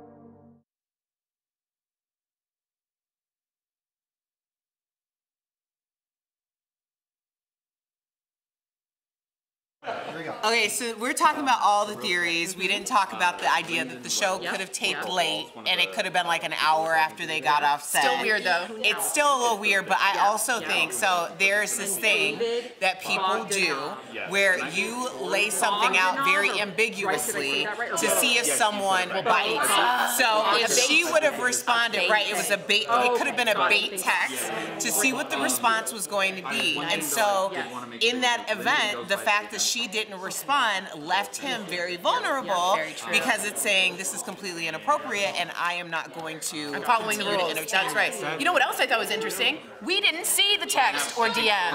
Why don't we see it? I'd like to show the message. yeah. Yeah, if I'd like Yeah, to see you go also just DMing time? some. Say it again. And also, if they have a no contact rule, but they're in contact, Thank they, they clearly don't have enough of a relationship where like she's like, oh, of course we text late at you night. get fired for that. So like, if they did, if they were on any kind of connective level, like, why would your first text to Be- Can I get your be- number? Yeah, to be at midnight. I Yeah, just thought yeah. that. And can I get it your just number? Didn't make any sense. The show me Now, get you do her we know if it was a text or a DM? No, we can't confirm because I said See, if it's a text, if it was, we if know it was the number. a DM, I, I would have a little bit more time-sensitive, grace yeah. for that because I'm probably not going to see that until I send DMs late because I don't. Do you get notifications for DMs? No. But See, DMs I don't get no sliding in- notifications either, so I think of it like an email. Yeah. Cheryl says here, and I agree with her. He did. He broke the rules, and she got he got fired. But Period. so should whatever lawyer. Did. Happy Friday. Bye.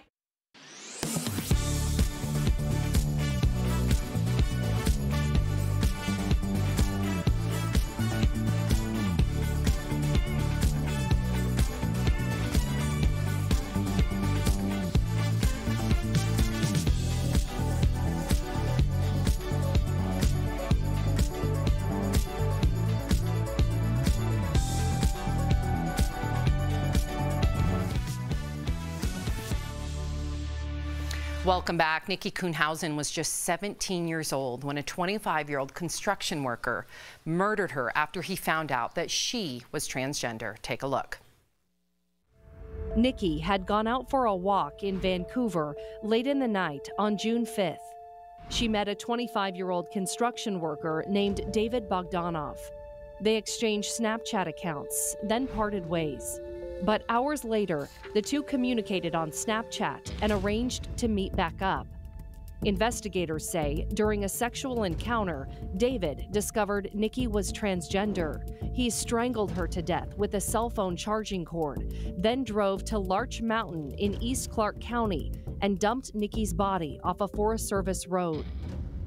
For months, Nikki's friends and loved ones had no idea what had happened to her. knowing that a trans teenager and a, a trans female teenager was missing, um, those stories don't usually end very well. Then, in December of 2019, six months after Nikki disappeared, human remains were discovered on Larch Mountain. During the investigation, search warrants revealed David's phone pinged in the same area Nikki's remains were found the morning she went missing. We attempted contact with him yesterday, and he uh, declined to, to give any further statements. At that point, he was arrested for second-degree murder. So understand that you're being arrested today for the murder of Nikki Kuhnhausen.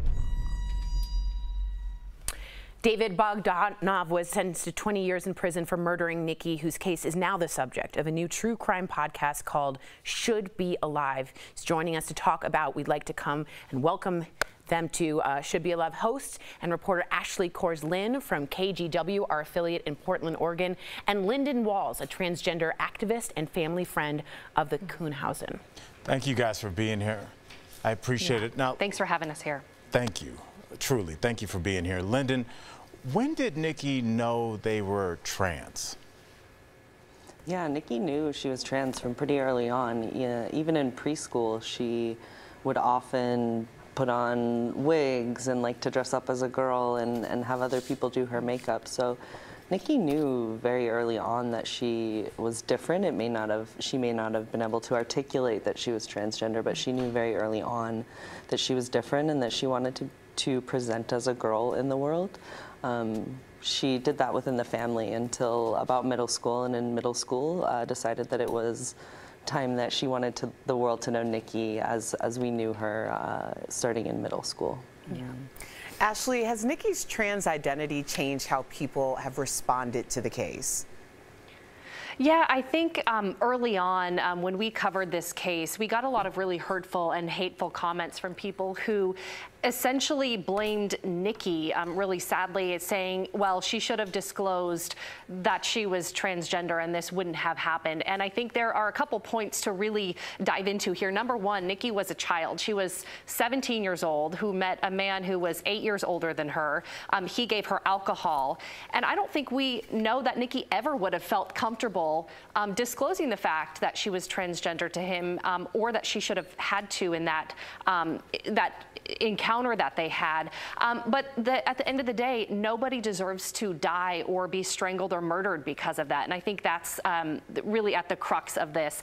And I think um, Nikki's gender identity played a role in this in the sense that people who are transgender, LGBTQ plus people, really saw this case and saw this murder, and it really heightened the fear that people already have right. about acts of violence that are increasing and murders that are increasing against transgender Americans. And so this case really rattled those people who were already scared. And specifically, um, trans women and black trans women are most often the victims of these types of crimes. And so that's really what we wanted to highlight through this series. And thank God that you guys are, because hopefully through your knowledge, you know, it can break down a lot of the ignorance and the prejudice out there and discrimination that's the goal i mean this is a human being it's it's yeah. it's angry and it's it's heartbreaking um, lyndon how right. did nikki's family cope with her disappearance i can't imagine as a parent not knowing what happened to her for six months yeah, Lisa Lisa really took it hard. You know, Lisa, Nikki's mom, spoke daily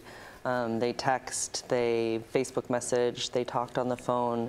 Um, there wasn't a day that went by that, that they didn't talk. And Lisa often talks about the fact that she, Nikki was never the one to hang up on, uh, on their phone calls. Um, mm. She always made Lisa hang up because she, she just wanted to stay there and have that extra time with her mom. So Lisa took it really hard. The rest of the family took it really hard because it was six months where they didn't know right. Where their family member was. And and early on, Lisa had been told that something had happened, and so, you know, there was a suspicion that that it may not have come, you know, it didn't have a, a good outcome. Mm -hmm. Thank you for being here, both of you, to put a spotlight on this. Uh, Mr. Bogdanov yeah. claimed mm -hmm. self-defense, but prosecutor said, no way, uh-uh, you killed her because she was trans.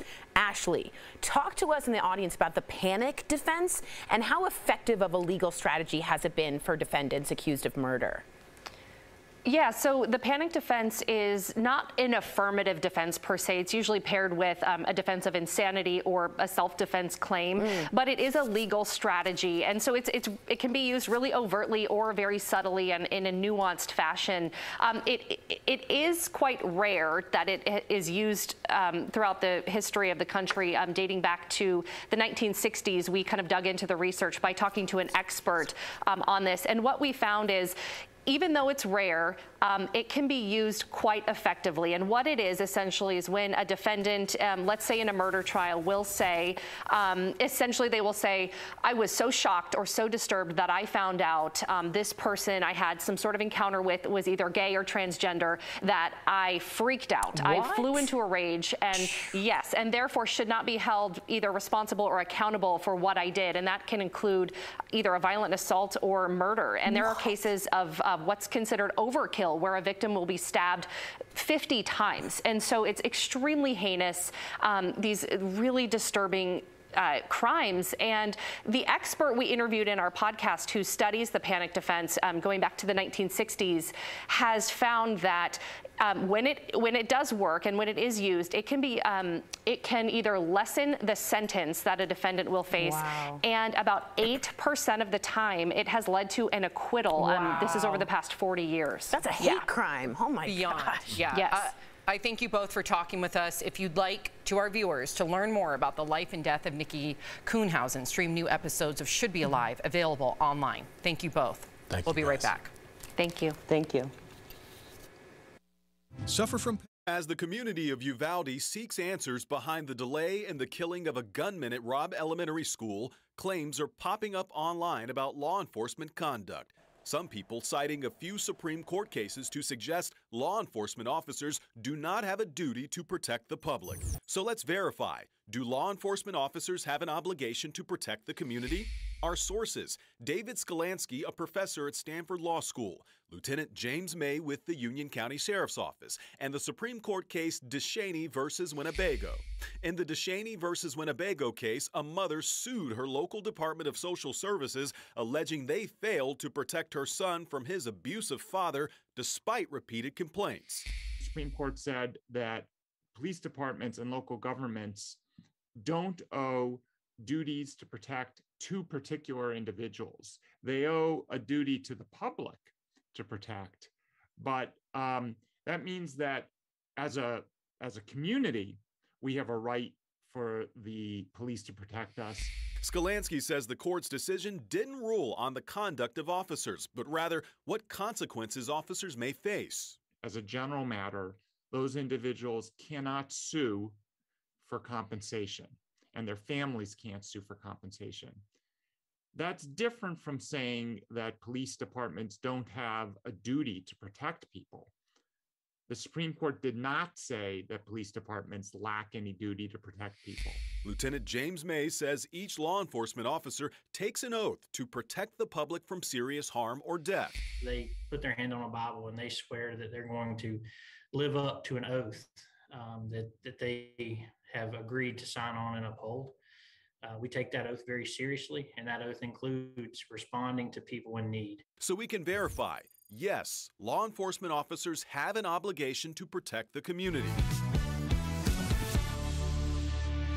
Renovations can increase your home's value, but the wrong choices could cost you more money. It's time for some DBL home tips presented by American Home Shield. Avoid these common mistakes that can decrease your home's value. Okay, here we go. Don't get too personal with custom features that don't appeal to the average buyer. Next, adding more living space by converting your garage can decrease your home's value if you live in a cold climate. And avoid adding bright siding and doors. Instead, add color with flowers and plants. And remember, an American Home Shield home warranty plan helps cover many things homeowners insurance leaves out, like breakdowns or major components of home systems and appliances, so you can rest easy knowing you're ready for whatever breakdown strikes next. Visit ahs.com to find a plan that's right for you. We'll be right back. Promotional consideration is brought to you by of all the common tick-borne illnesses, Lyme disease can cause some of the most painful problems, even brain damage if not treated early. There's no vaccine for Lyme, and by the time you might notice the signature bullseye rash, it's too late to prevent. So viewer Kathleen asked, is it true a single dose of the medicine doxycycline can prevent Lyme disease? The answer is yes.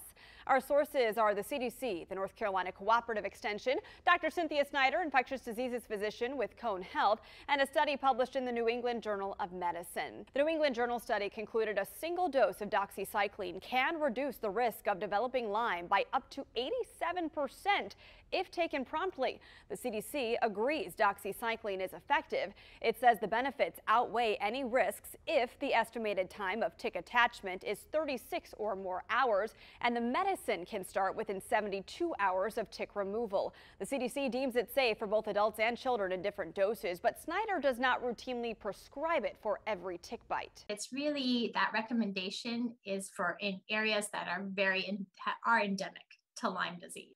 The CDC's most recent Lyme case map from 2019 shows 15 states plus D.C. with a high incidence of Lyme. The North Carolina Cooperative Extension says the black-legged tick, also known as the deer tick, is the most common Lyme carrier. That's why carefully extracting and saving the tick can determine next steps put it in a jar, you can put it in a Ziploc and, and show it to your primary care doctor, and they can probably differentiate even if it's not the deer tick, Snyder acknowledged no major risk to taking doxycycline just in case. However, she said repeated use can change the healthy bacteria in your gut. She also cautioned against taking any antibiotic unnecessarily.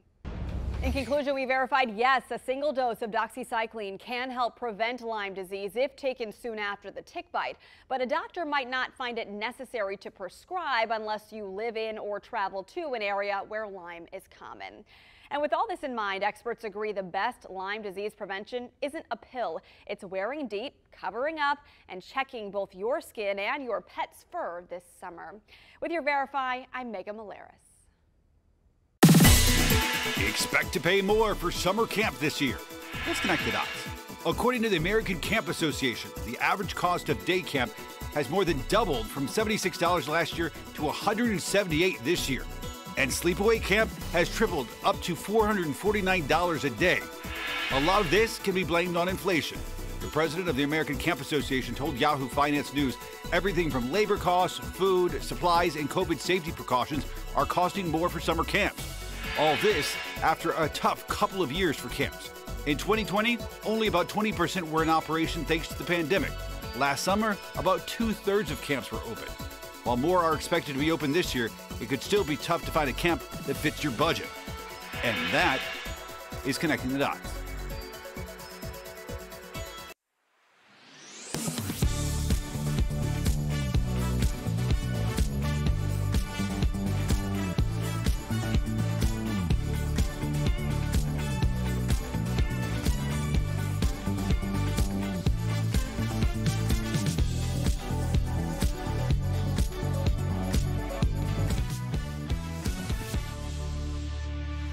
Welcome back to DBL. We love sharing your comments. What do we got, Tori? This is about Matthew Morrison losing his job. And Cheryl wrote in, um, I think he intended something more. And I think what you said in the break about the bait, could you explain Oh, that a little? Yeah, so there's these things called bait text. I'm not saying that that's what he did, but someone will text you something and kind of like leave it out there t- based on your response. It goes further. That's yeah. Makes a lot of sense. Mm-hmm. We hope you all have a wonderful weekend. DBL's new every day. We'll see you Monday, same time, same place. Wear orange.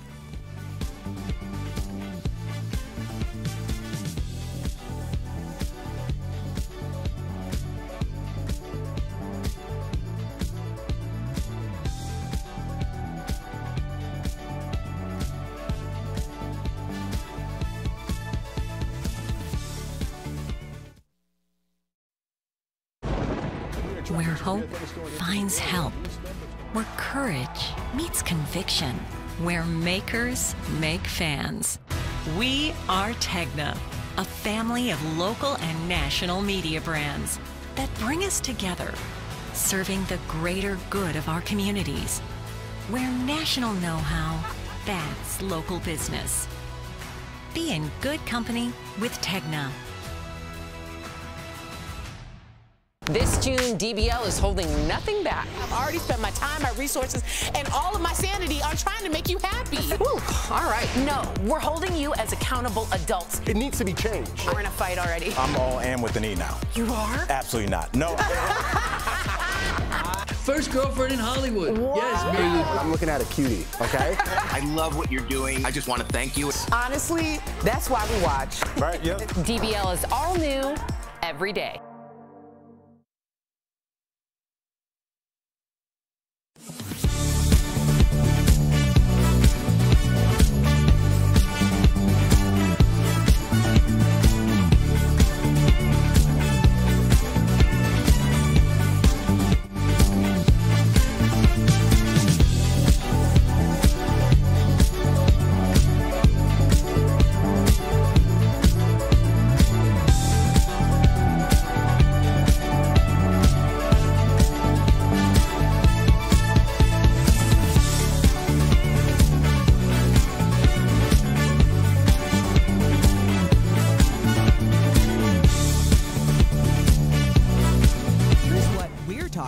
Today on Daily Blast Live. More lives lost in two more mass shootings as President Biden calls for gun control. How many more innocent American lives must be taken before we say enough?